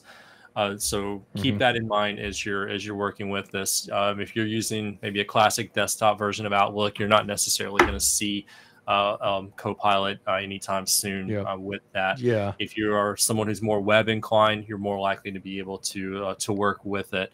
Um, and then from there, I think some of the key takeaways, um, you know, feature wise, the users um, should be excited about, but also temper those expectations. Is the summary is only going to go back so far? Um, I can't recall exactly how long, how many days back, or how many replies back that the summary for email uh, is going to go. Uh, I have to double check on the service descriptions with that, but it's not necessarily going to crawl your inbox for the last three years. Um, it's going to mm-hmm. be limited um, to a to a certain time frame. Um, the ability to respond to an email quickly with a single prompt is great. But there's a meme floating around, and it's like, hey, you know, I got to draft this email. I'm going to use, you know, Copilot to do it. And then somebody gets the email on the other end, and they're like, oh, yeah, they wrote this with Copilot. So um, give me a summary and then reply with Copilot. Um, and then you just got, you know, co-pilots responding to one another and taking the yeah. person out of the equation. Um, robots talking to robots. Exactly. so, you know, yeah. fact check it, actually read and engage it. Um, but it is helpful to, hey, this is a long email thread. Summarize it and tell me what the key bullet points are. And then, you know, ask it a couple of follow-up questions and, and get down um, into it. Mm-hmm. Um, yeah. And then, you know, have some fun with it, but keep in mind we use this for, uh, in many cases for professional communication. Um, and I think it's really important to set that standard. Yeah. Personally, I have used the summarization of email threads like crazy. That has been like a superpower for me um, to understand long email chains. But I have almost not used the generating drafts at all um, because really like I, I want to say things in my own voice. I want to I want to be me, you know, whenever I respond. So I think sound like me might change that for me personally. But um, I, have gotten a lot of use out of summarization, not quite so mu- much use out of generating uh, things. But again, also with Chat GPT or Bard, like Gmail, I, I haven't been doing that in other apps either as well. So that's just uh, I guess uh, I'm maybe I'm old school or something, and that like I like to write my communications, but uh, that's just a little bit of my own experience. So okay, oh boy, you ready to talk teams? This is where there's lots of teams things. Hope you guys are ready. Here goes a deep yeah. dive. This is a very exciting part too, though. So, all right. So in this section, we're going to be talking about Copilot and Microsoft Teams. Now, Copilot in Teams actually has a few different experiences, whether you're working in chat in a small group one-to-one or a small group, um, but it's also going to extend into things like your meetings. And that's going to apply to private meetings as well as the channel meetings that you're going to be working with. And even then, Copilot's going to extend into uh, the M365 Copilot is kind of the virtual assistant. So you're going to see a bunch of different Copilot experiences um, along the way. So some of the core entry points are going to be able to go in and have it work with things like meeting notes that you've generated. And Daryl's really going to love this because it is overlapping with Loop. So Copilot and Loop and being able to interact with those Loop notes that you've mm-hmm. created. So we're going to see um, Copilot, uh, as part of the meeting notes experience, being able to prompt against or query against the the meeting notes that were actually generated, identifying those action points and creating new content. But you're also going to be able to use it to do things like summarize the chat and conversation history. You're going to be able to have it go in and catch you up on a meeting that maybe you got to just a few minutes late recap the meeting so far so you can see what the key points are, find any actionable items inside of that meeting, and then at the end, generate the meeting notes um, for the attendees of those meetings. And that's going to have details, it's going to have actionable items, and it's going to have key takeaways. And you're going to be able to take that information and pass it forward so users can be attendees can be more engaged in the meeting and not necessarily um, concentrating on getting down the key points and maybe missing a key point uh, while they're jotting mm-hmm. something down. So they're going to be present in the meeting uh, versus uh, having to be the meeting stenographer. Now we have that and it's Copilot. But there's a lot in this video to, to take away. So let's go back and step through some of the, the various yeah. scenes that we saw here. Yeah. So some of the things here are are showing like the recap. So mm-hmm. I would say that if you want to look at the whole life of a meeting, you should think in terms of before, during, and after. What this video doesn't cover is the before side of it. I think that's more of a like a loop copilot thing. Like I need some ideas for an agenda, you know, stuff like that. Write me an agenda for the meeting. Um, but we shouldn't just forget about the before. What I want to focus on though is the during and the after they're showing here the after. And this is one one thing that i can put on the hat of like a global organization. You can't make every single meeting. Sometimes it's just at night or early in the morning or something like that or heaven forbid we have a conflict. I always have conflicts. Well if the other people in the meeting are so kind as to record the meeting for you, run the transcription for you, you will be able to get the the transcript you'll be able to go into copilot on the side right here and ask about the meeting get a summary get the key takeaways stuff like that. So i do want to point out though that we're looking at two different things on the screen right now. The first is all of this right here where it created topics for you. It knows the speakers. It knows the automatically generated notes not manually generated this part of the window is Teams Premium, right? So this is what you get for $10 extra per month. If you don't have Teams Premium, you can still use Copilot and the transcript to generate notes, to do things. It's just not going to be quite as like done for you and in this pretty format. So I do want to kind of set expectation right there. If you're not a premium organization, you won't get a lot of this type of stuff. But if you have Copilot, you'll still be able to open up Copilot for the meeting and say, what did I miss? What were the action items? That type of stuff. And it's going to use the transcript for that. So you don't you don't get nothing if you're not premium. You just you know you're gonna do it conversationally with Copilot. So I do kind of want to point that out. Um, um, so that's before we, after before the we meeting. exit out of there. Can we go back go ahead. just a second? Yeah. One other key takeaway and this is this is really a key difference. Notice that uh, up at the top, it's chat, details, files, and recap. Mm-hmm. This tells me that we're in a private meeting. This was a meeting that was scheduled maybe from the team's calendar, or maybe from chat with a small group, or perhaps it was scheduled from uh, Outlook. So this is a, a private meeting. The private meeting has that recap tab along the top. That recap mm-hmm. tab um, will show you, in this case, the team's premium view of um, the meeting recap but if you don't have the premium license, it will show you um, some notes that were taken in the meeting and it will show mm-hmm. you the transcript.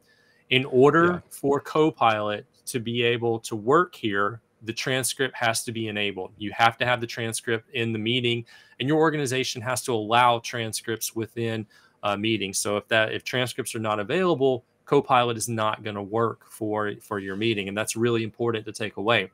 Mm-hmm. With a private meeting, like we see here, the recap tab is readily available.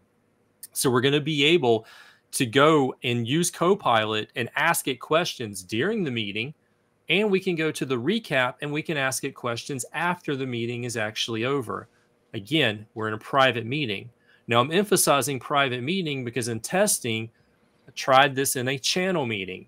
I prefer in my organization to use channel meetings because of some limitations around things like retention policies. So we like a mm-hmm. lot of channel meetings because it brings people in the team and in the channel into the meeting. We can still send out the invites if we want, but then people on the team can go back to the meetings channel that we've created and they can get the information, the recording, the transcript after the meeting's over, and we can continue the conversation there.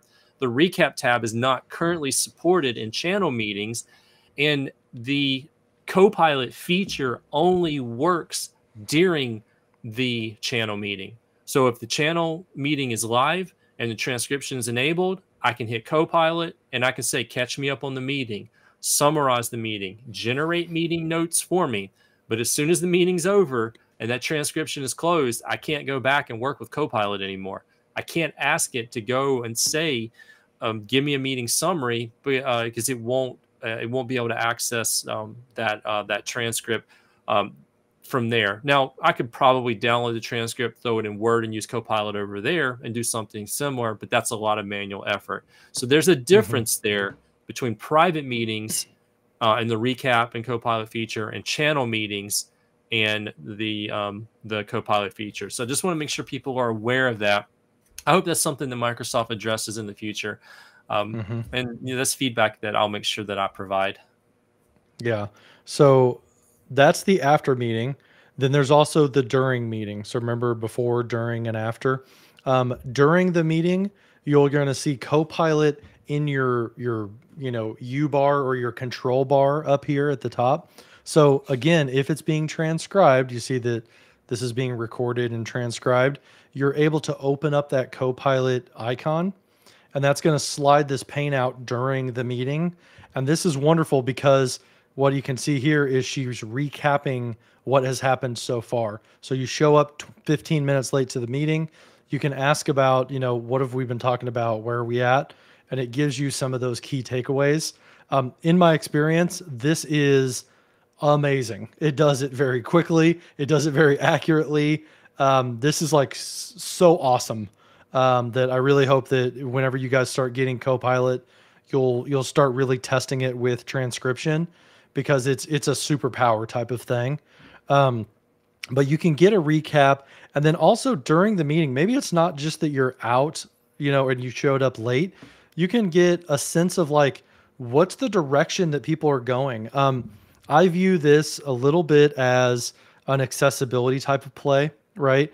Um, maybe maybe I zone out. Maybe I have some type of you know um, uh, attention deficit, something like that, that causes me to like, you know, lose focus, I can ask like, you know, oh, what did I miss? Or, you know, where are we going with this? Maybe I'm a person who has trouble reading people and emotions, things like that. You'll be able to say, you know, hey, are is are people on board with this? Did we arrive at a decision? That's something that like, you know, even outside of an accessibility need, a, a lot of times I get to the end of the meeting and it's like, do we even decide on anything? like, like, did we come up with a decision? So at the end of the meeting, you could ask what questions are unresolved. That will be really helpful. Um, and also, like, did we arrive at a decision? What decisions were made? And it will give you that that type of information that you're looking for. Something that's helpful that I've noticed is it will uh, Copilot will nudge you towards the end of your meeting to say, "Hey, there's 10 minutes left in your meeting. Why don't you run a recap?" That happens when you're transcribing. So I've I've really been like jazzed about that. That um, it reminds me that it exists in the last 10 minutes of the meeting, so that I can get a recap. I can do notes, but I can also say like, "Do we have anything left? Did we not get on something in the agenda?" Or uh, what are the key takeaways you know so that you can take it and actually do something with the output from the meeting at the end so um, I, I just love the during meeting experience i can't say enough good things about that one I just had a great idea, and I'm gonna have to test it out in a in a, in a fake meeting maybe this weekend. Yeah. But um, I'm gonna have to see if um, during the context of the meeting, if we did in fact decide that next Tuesday is also going to be combined with Pete the Pirate Day, and see what the outcome of that's actually going to be. okay. so uh, let, us go on to the next slide. Let's see what we're. Are we missing anything in this uh, slide here? So again, that's just deep diving on that particular during uh, meeting experience, and then here's some some options. So again, summarizing the meeting. Uh, this is something that that I've been doing a lot. Is during the recap of the meeting, it's given me bullet points, and uh, something that I've noticed is whenever I ask for like key takeaways, it will give it to me in a bullet listed format, right? You know, Andy said he was going to do this and he was going to do it by Thursday. Tom said he was going to do this other thing by next week, stuff like that. Um, what I've found more helpful is not only saying summarize the meeting, but I've said the extra summarize the meeting and give me the key actions as a table.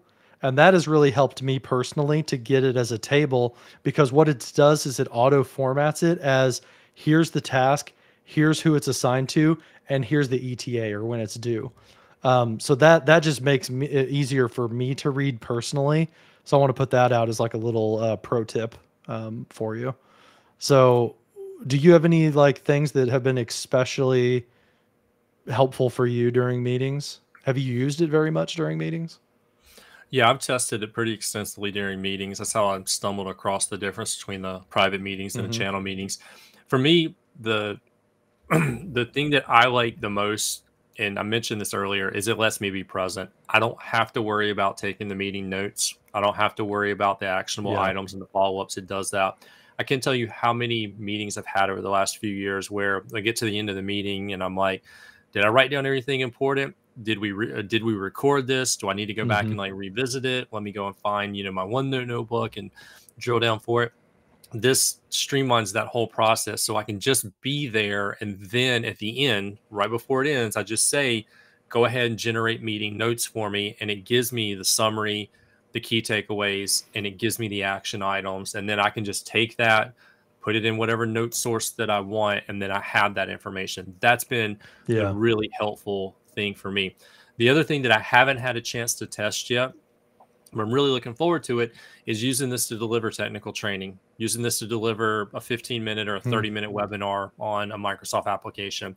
What I want to do is within the um, within the process of this, I want to be uh, go to Copilot and say, okay, um, uh, summarize this or create an outline of uh, of this technical training and then key takeaways, and then use that as a way to follow up with the uh, with the audience um, and extend what I'm able to do delivering content, but also streamline some of that workflow. So I'm not having to do as much of that work manually. If it's able to go and mm-hmm. grab all the key points for uh, from that training and then help me go ahead and draft the follow up communications, that can be a huge time saver for me. Yeah, yeah, that's that's a really good idea. I, I'll have to use that in our onboarding sessions as we start bringing people online. I'll have to try that. Um, I definitely need to mark that down. I I need to make sure I transcribe those meetings so that one, I can give people key takeaways and format it that way, but also uh, to demo it live as well. This is something that um, you're going to have to figure out in your organization what your tolerance is for transcription. Um, that can be a very um, touchy subject for certain organizations and certain groups of folks. So um, there there might be some cultural things to to kind of get over corporate culture wise, of like you know is transcription seen as a bad thing or as a helper in your organization um, to understand how much value you might get out of this. But uh, if you can do it, it's pretty awesome. Um, what does this video show here? Okay, so this is diving into the next section, which is about uh, group conversations. We have a whole section on that, don't we? no, the next section is going to be the uh, M365 chat. Oh, okay, cool. Yep. So we we can dive into this then, I guess. So so the second thing in Teams, we got meetings as one. The other one is one-on-one chats or group conversations that you have. We're not talking channels we're talking the chat tab. So we're in the little chat module right here. Inside of that chat area, any of your conversations you have going, whether they're one-on-one or uh, or a group conversation, you will have this co-pilot button in the top corner.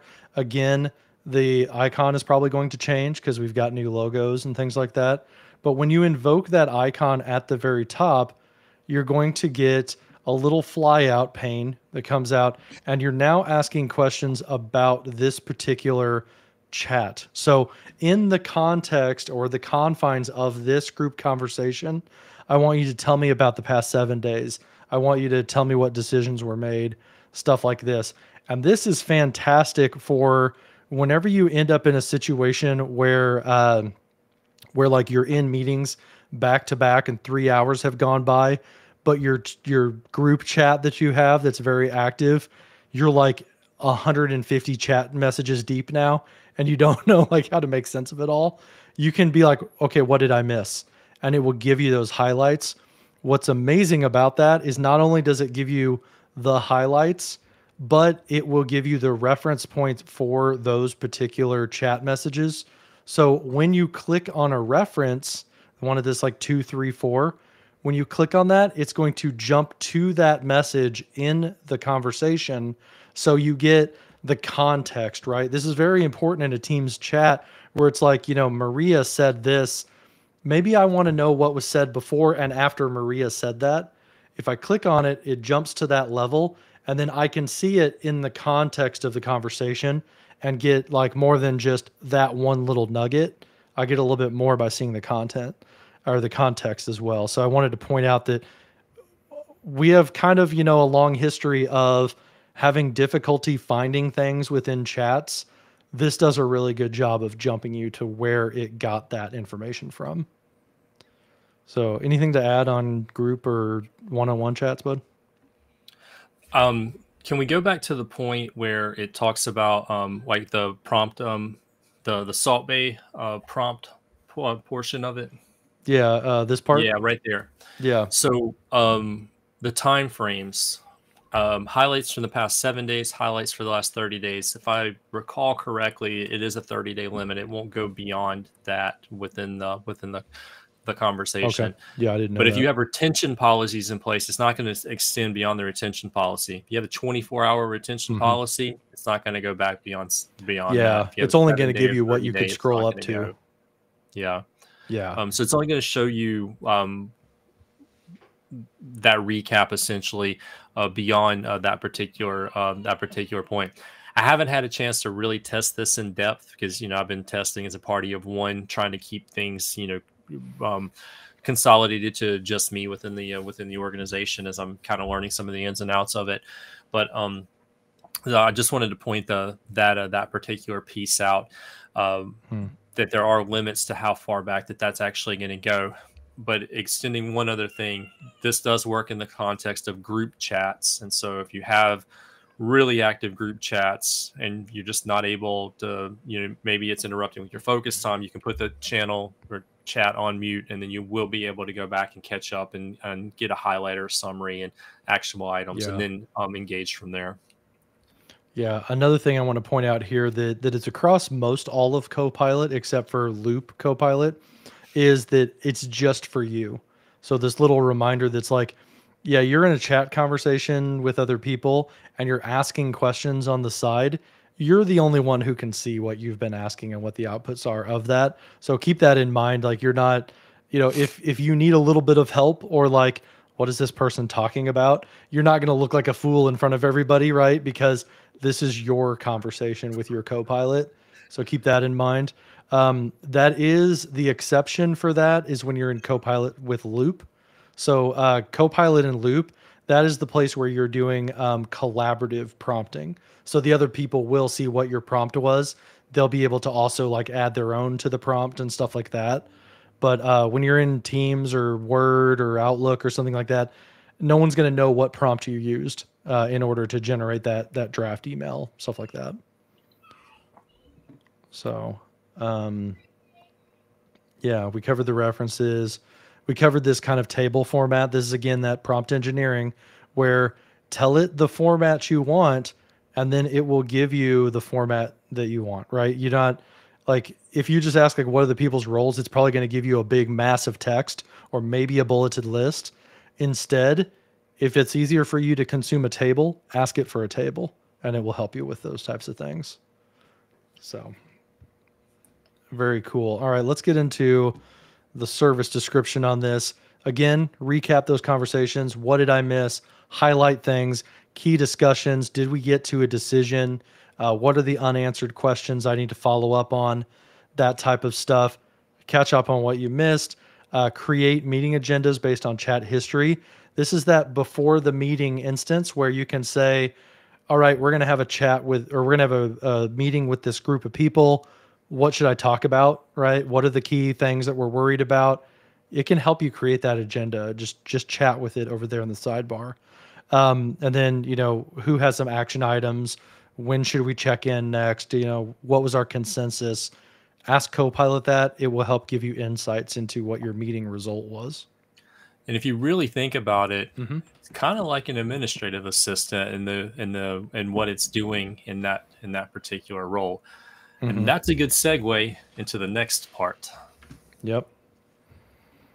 So in this section, we're going to be talking about M365 chat, also known as Microsoft 360 chat, formerly known as Copilot Preview, formerly known as Business Chat. Yes, this one's been renamed a few times. It's now M365 chat. And this is an application that you install through the app bar along the um, left hand navigation. And this application uh, is accessible through the chat option uh, inside of um, Microsoft Teams. This Mhm. is the virtual assistant experience. This feature, in my opinion, is the most powerful Copilot feature that Microsoft has released. So we've saved the best for last because this, This, is what I use the most. is Yeah. truly the game changer.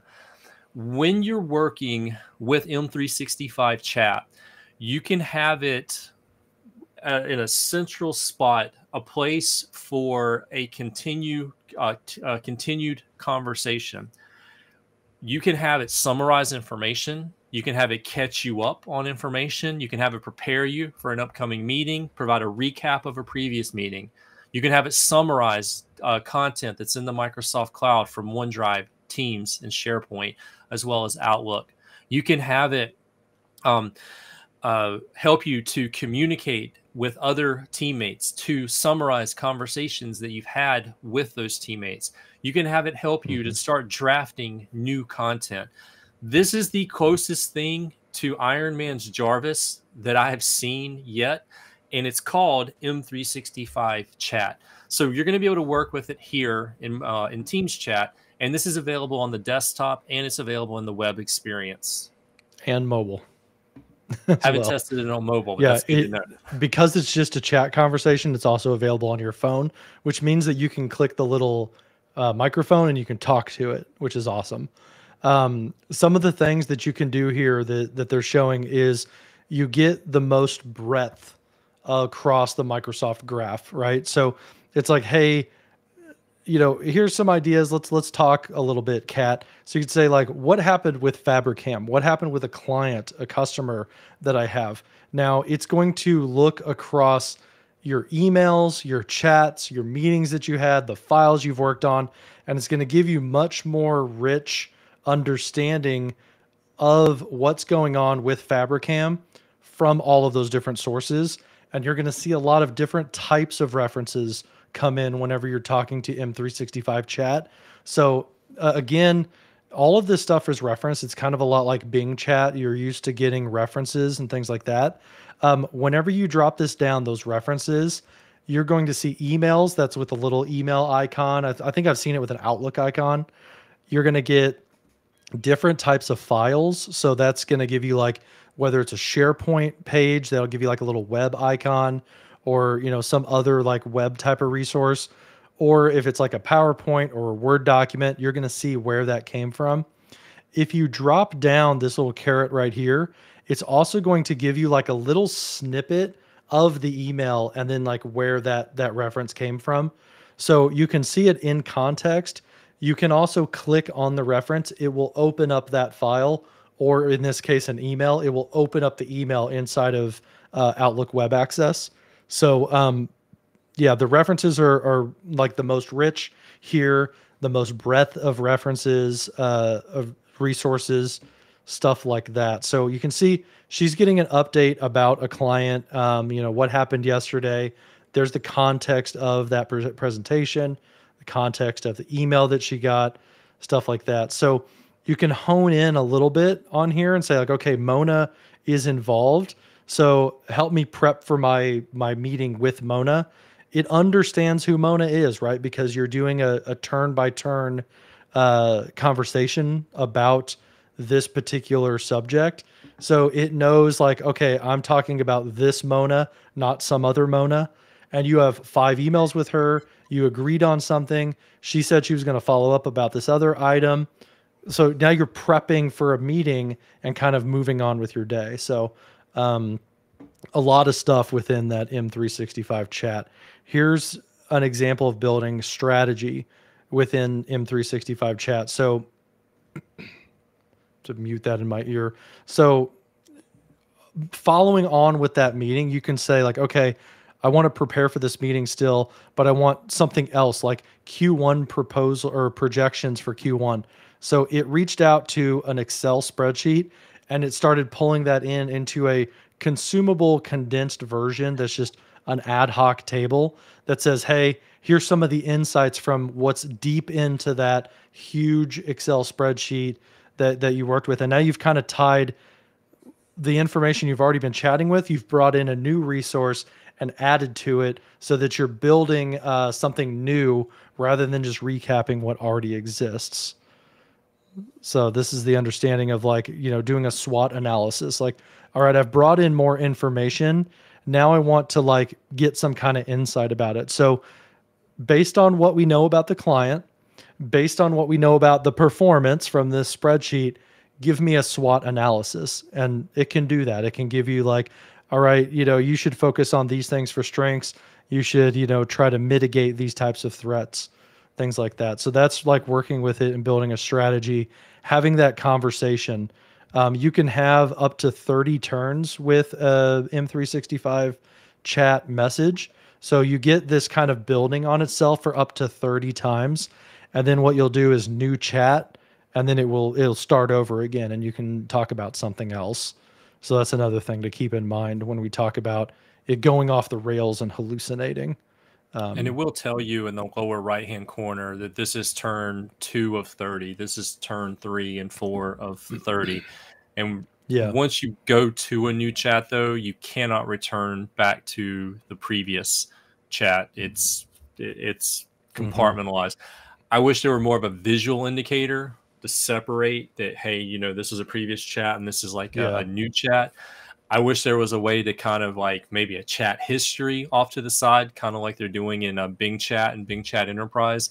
Um, mm-hmm. just so I can go back and maybe revisit a previous conversation for a little while. I think that would be um, really interesting. And I'm also really curious to see long term effects, how retention policy is going to apply to the conversation that I have here. So if I have a hmm. conversation mm. with um, M365 chat, is that going to be subject to re- a 30 day retention? I'm testing that now. It's going to be a few more weeks before. I yeah, from my experience, yes, um, it's just a conversation. So yeah. um, from what I've seen, yeah, it's it's going to respect your organization's uh, retention for chats because it's a it's a uh, application chat that you're doing. So um, something that's shown right here is something that that was announced again at this Surface event back in September. We have not seen this yet, but what I'm excited about is one one issue that I have right now with Copilot or that I've I've seen from these demos as well is it feels like you're doing a little bit of context switching, right? Like I want to build a slide outline um, you know, for this slide deck that I'm working on. I might do that in chat, but in order to move that into PowerPoint, you have to like go into PowerPoint, open up Copilot, and then, you know, create from this outline. Um, what we've seen to kind of smooth that out is Microsoft announced these kind of action buttons inside of the chat where it'll say, oh, well, you know, you want to add a slide or you want to create some slides out of an outline. It's going to intelligently offer, well, let's open it up in PowerPoint or write me an email draft to Mona, it will say, well, hey, let's open that up in Outlook and it will send it over to the place where you're going to keep working. Um, I think that's going to smooth out that kind of like context switching a little bit. So I wanted to call that button out because I'm looking forward to that as well. Yeah, Daryl says, imagine threaded conversations you can go to. Um, that that's kind of like something that I miss from Bing Chat to Bing Chat Enterprise when we all moved over to Bing Chat Enterprise, we lost that chat history, right? The ability to rename our conversations and pick up where we left off. Um, I, I, hope that Microsoft brings that back in some way, you know, that's also compliant with all the governance and the reasons they probably pulled it out at the beginning. Um, I don't know, Andy, if you've heard anything about them bringing chat history back into like a Bing Chat Enterprise.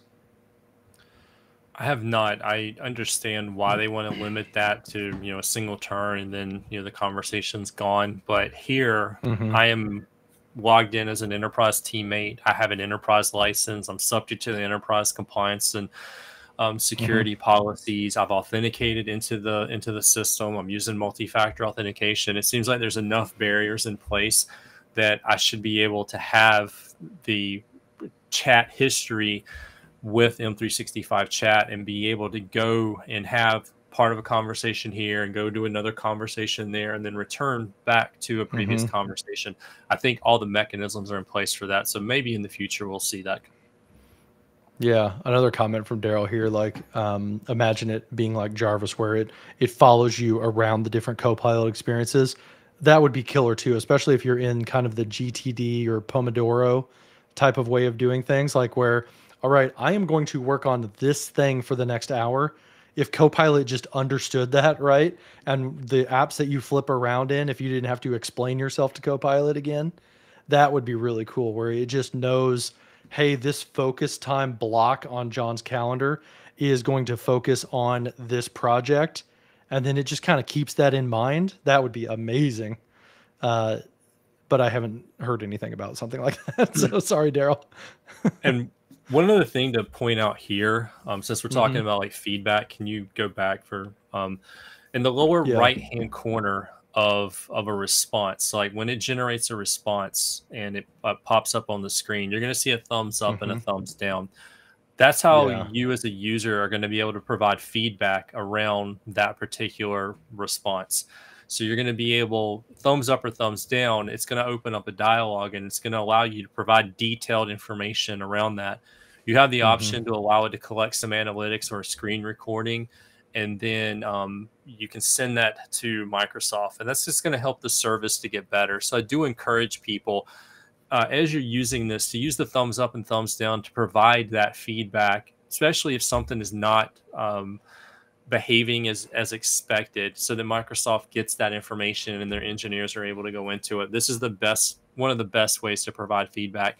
There's also mm-hmm. a separate feedback mechanism. There's a feedback portal that they have available where you can provide feedback. You can upvote other feedback from other individuals. You can um, report bugs and you can um, also suggest features. I highly encourage you to take advantage mm-hmm. of that because this is a new technology and these ideas are only going to help the product to get better. Reporting the bugs is only going to help it to get better. So please use the, those feedback mechanisms. I don't even work for Microsoft, but I just want to see it get better. And um, and it's yeah. great uh, out of the gate. But there's room, you know, there's room for improvement in any kind of process. And so using those feedback mechanisms is really important. Mm-hmm. Yeah. So um, to speed up a little bit, because I we're we've done done two hours already. Um, this is one of my favorite fe- uh, features in Copilot, or the things I've used in Copilot personally. I went back. I remember uh, talking about like project updates. Right, give me a summary of something that's going on across the breadth of my 365 experience. This is that example of like draft a summary of what happened in the, all of these meetings, or what I mentioned is give me a status update on a project I want you to go back 30 days and give me like key achievements, give me things to work on for the next 30 days. This is that example inside a business chat. So you're going to be mostly doing that in a business chat, M365 chat uh, type of window where you're like, all right, you know, give give my team an update, write a recap, find this information, that information, kind of move on with it. Um, this is very, very helpful. So I haven't seen that action button though, where it like sends it over to a channel. That's something that that came out in that September uh, announcement that they had. yeah, I'm still waiting on that as well. yeah. so moving back, business chat or M365 chat is what it's going to be called uh, at general availability. Bringing all that data together, whether it's your email, your chats, your files, loop components, all of those types of things bringing all of that into a single chat interface that's the power of having that. That's why i live in it for the majority of the time um, is because it has the most access to everything that that i have access to. Um, remember it, it respects like what you personally have access to. Um, doing strategy coming up with swot analysis uh, getting recommendations things like that updating your projects and programs super super useful for that type of thing as well and then on to the uh, service description. Again, you can recap those conversations, catch me up, highlights, stuff like that. Um, and then get answers to specific questions, get agendas, you know, generate agendas, get before the meeting to make your meeting more useful, and then identify those follow ups like coming out of a meeting, what can we do to, um, to, you know, actually get actions out of our meeting and have more productivity on the other side. So, all right, um, we're at two hours. so, Andy, what do you th- what do you think? You want to come back and uh, you know circle back into some of these other items when we can demo it? Because I think Loop and Whiteboard, especially, I, I would like to be able to show it somehow. You know, after GA. So right. I'm wondering if we should continue this uh, on. Yeah, we're limited on on some of the video based content that we have for the remaining apps. Um, so I think it is a good good stopping point to kind of circle back to okay. some of the other apps when we can demo. uh, that also um, keeps us honest and hopefully keeps you coming back because we have mm-hmm. a lot more to potentially talk about once this goes to uh, the GA and um, we are yeah. able to uh, to demo. Um, I think like on the up next agenda, uh, Microsoft mm-hmm. Stream, uh, there's a few announcements around that for things like summarizing videos, being able to ask mm-hmm. questions about that video content, locating people and topics within the context of that their roadmap, the, the, the stream roadmap is is just crazy right now with uh, with features and and content that they want to push out. SharePoint's made a number of announcements, um, and they've demoed some mm-hmm. of this um, uh, at various uh, events. But SharePoint, they're talking about the ability to create sites and to create pages and have Copilot assist in that, and then even creating pages from files. I'm really interested to see where that's going to go. Um, going over to OneDrive real quick. Um, OneDrive working with files with natural language, being able to ask questions and summarize the files that are in your OneDrive. I think M365 chat does a little bit of that now, but to be able to do it in OneDrive and not have to context switch, kind of having that that uh, Copilot experience follow you would be really helpful. In in the mm-hmm. Viva world, there uh, there's been a number of different announcements there um, related to how they're going to integrate uh, Copilot um, but Viva Engage is one of the ones we have listed here, uh, where they're talking about being able to um, draft posts um, with mm-hmm. topic recommendations, uh, working with replies and better answers, and summarizing threads. I'm really interested yeah. in that from a training and user adoption standpoint. We rely heavily on Viva Engage, so if we could leverage more yeah. of our knowledge base and our, our institutional information and have kind of an intelligent agent functioning in there along with us, uh, that would really streamline our ability to scale mm-hmm. and reach our organization. So I'm really, really yeah. um, interested to uh, um, to see that. Yeah. To jump back up a little bit uh, to answer this question that just came in the chat, November 1st is uh, Microsoft Copilot general availability. We're super looking forward to that. Um, it's it's only a few short days away, and then you know we'll be able to show a lot more things and, and talk about that stuff these items that andy talked about what's next that's going to be more of uh, like you know later this year early next year type of announcements that they've made uh, there's a public roadmap for copilot so if you go to the traditional roadmap that we've got um, also daryl has some copilot and loop stuff that we didn't get to yet um, so after ga we're going to show off you know a lot of this type of functionality, but he's got videos as well. So check out Daryl's channel. Um, I want to end out with just quickly, like in three minutes, my day in the life with Copilot and what I've used it for. Because when you get your hands on this, starting maybe next week or into November, what the heck do I do with this? And jumping all the way to like transforming your life and work will never be the same it's not going to happen on day one, right? So try to think through like what you do, where you can use it throughout your day, and kind of sprinkle Copilot in like Salt Bae. Sprinkle Copilot in where you can. Um, in my own world as an enterprise architect, I do these things in boxes for my job, right? These are the things I need to take care of, I need to keep on top of.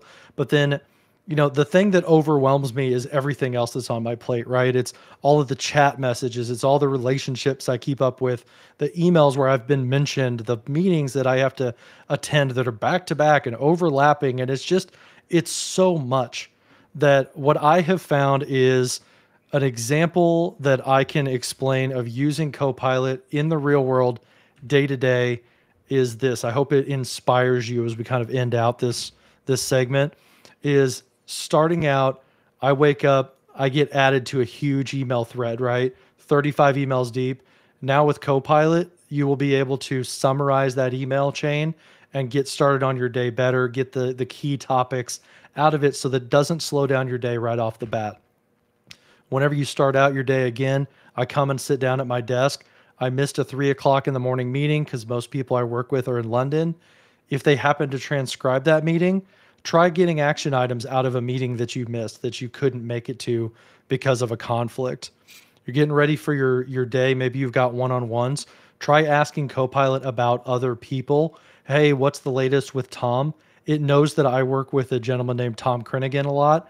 It will match that up because of the Microsoft Graph and it will help me pr- uh, prepare for like what are the outstanding things? What do you owe Tom? Moving on, get a project update. Again, we talked about getting like what were the achievements, what were the challenges and opportunities moving forward. Try that within the M365 chat. Get some ideation going within Microsoft Loop. Again, that collaborative space, things like that, where when you're in a meeting and you're in Loop, you're going to want to try to like pop Copilot in there and get some ideation going that way. Um, at the end, working with Word and PowerPoint, like, hey, I need a script for this. I don't know the structure of the PowerPoint that I want to build. Help me out with the structure, help me with the blank page. And then to end out the day, ask Copilot about what's going on tomorrow. Kind of use it to spring you into the next day and get you ready with like pre reads or things that you need to kind of study up on. Um, that's how I've been using it in my day. I hope it inspires uh, you guys as you start getting your hands on it between now and the next time that we talk. So, any words of wisdom you want to add, Andy? You have a really long day. Dude, yeah, yeah. Usually, usually I, I, wake up to a bunch of stuff from London, you know, and uh, usually I'm sending them a bunch of stuff at the end of my day. So we, we play tennis that way. Words of wisdom: keep it within work hours. Separate that family life from that work life. Um, no, I think that that was a really good um, day in the life um, scenario with uh, with Copilot. Uh, you're a little bit more mature in it than me. You've had access to it a little bit longer. I'm really looking forward to seeing how I'm going to be able to implement it and maybe streamline some of the stuff that I do. So we'll revisit a day in the life of Andy yeah. uh, in the in the future. Um, so I'll take some uh, some inspiration from that. But yeah. um, as we bring it to a close here, uh, we're going to circle back with more Copilot. This is not the end of the Copilot journey for us. I think this is actually just the start. We hope this has been helpful for all of you um, to kind of provide some insights into what's what's going on uh, with um, with Copilot and to be able to prepare as an end user and set those expectations. Um, we're going to try our best to divide this up into some smaller videos, post those on our YouTube channels, and, and get that information out there. And then once things go GA, we're looking forward to being able to demo and actually show you some of this uh, this stuff live as we continue our journey um, and our, our learning path with it. Um, I think the best way to learn about this is as a community, and you all have been a really great community for us. So we want to keep the conversation going. I'm going to do my best to go and grab all of the links to all the various resources that we had throughout this presentation and put them on one mm-hmm. blog post for you. So you have one stop shop for all of that uh, information. Uh, I've been doing a lot of work um, around that. Um, so continue the journey with us, follow up with us on social media, share this uh, this information totally shameless plug. If you happen to be in Chicago next week, I'll be at 365 EduCon. Uh, I'm actually delivering a full day workshop on um, uh, Microsoft Copilot. Really looking forward yeah. to doing that. I got a breakout session on Wednesday around Microsoft Copilot. I'll be at the conference all week. I'll be in the Chicago area all week. So if you're there, reach out, say hello. Otherwise, we'll see you uh, here on 365 Deep Dive. All right. Thanks, everybody. Have a great weekend. Appreciate it.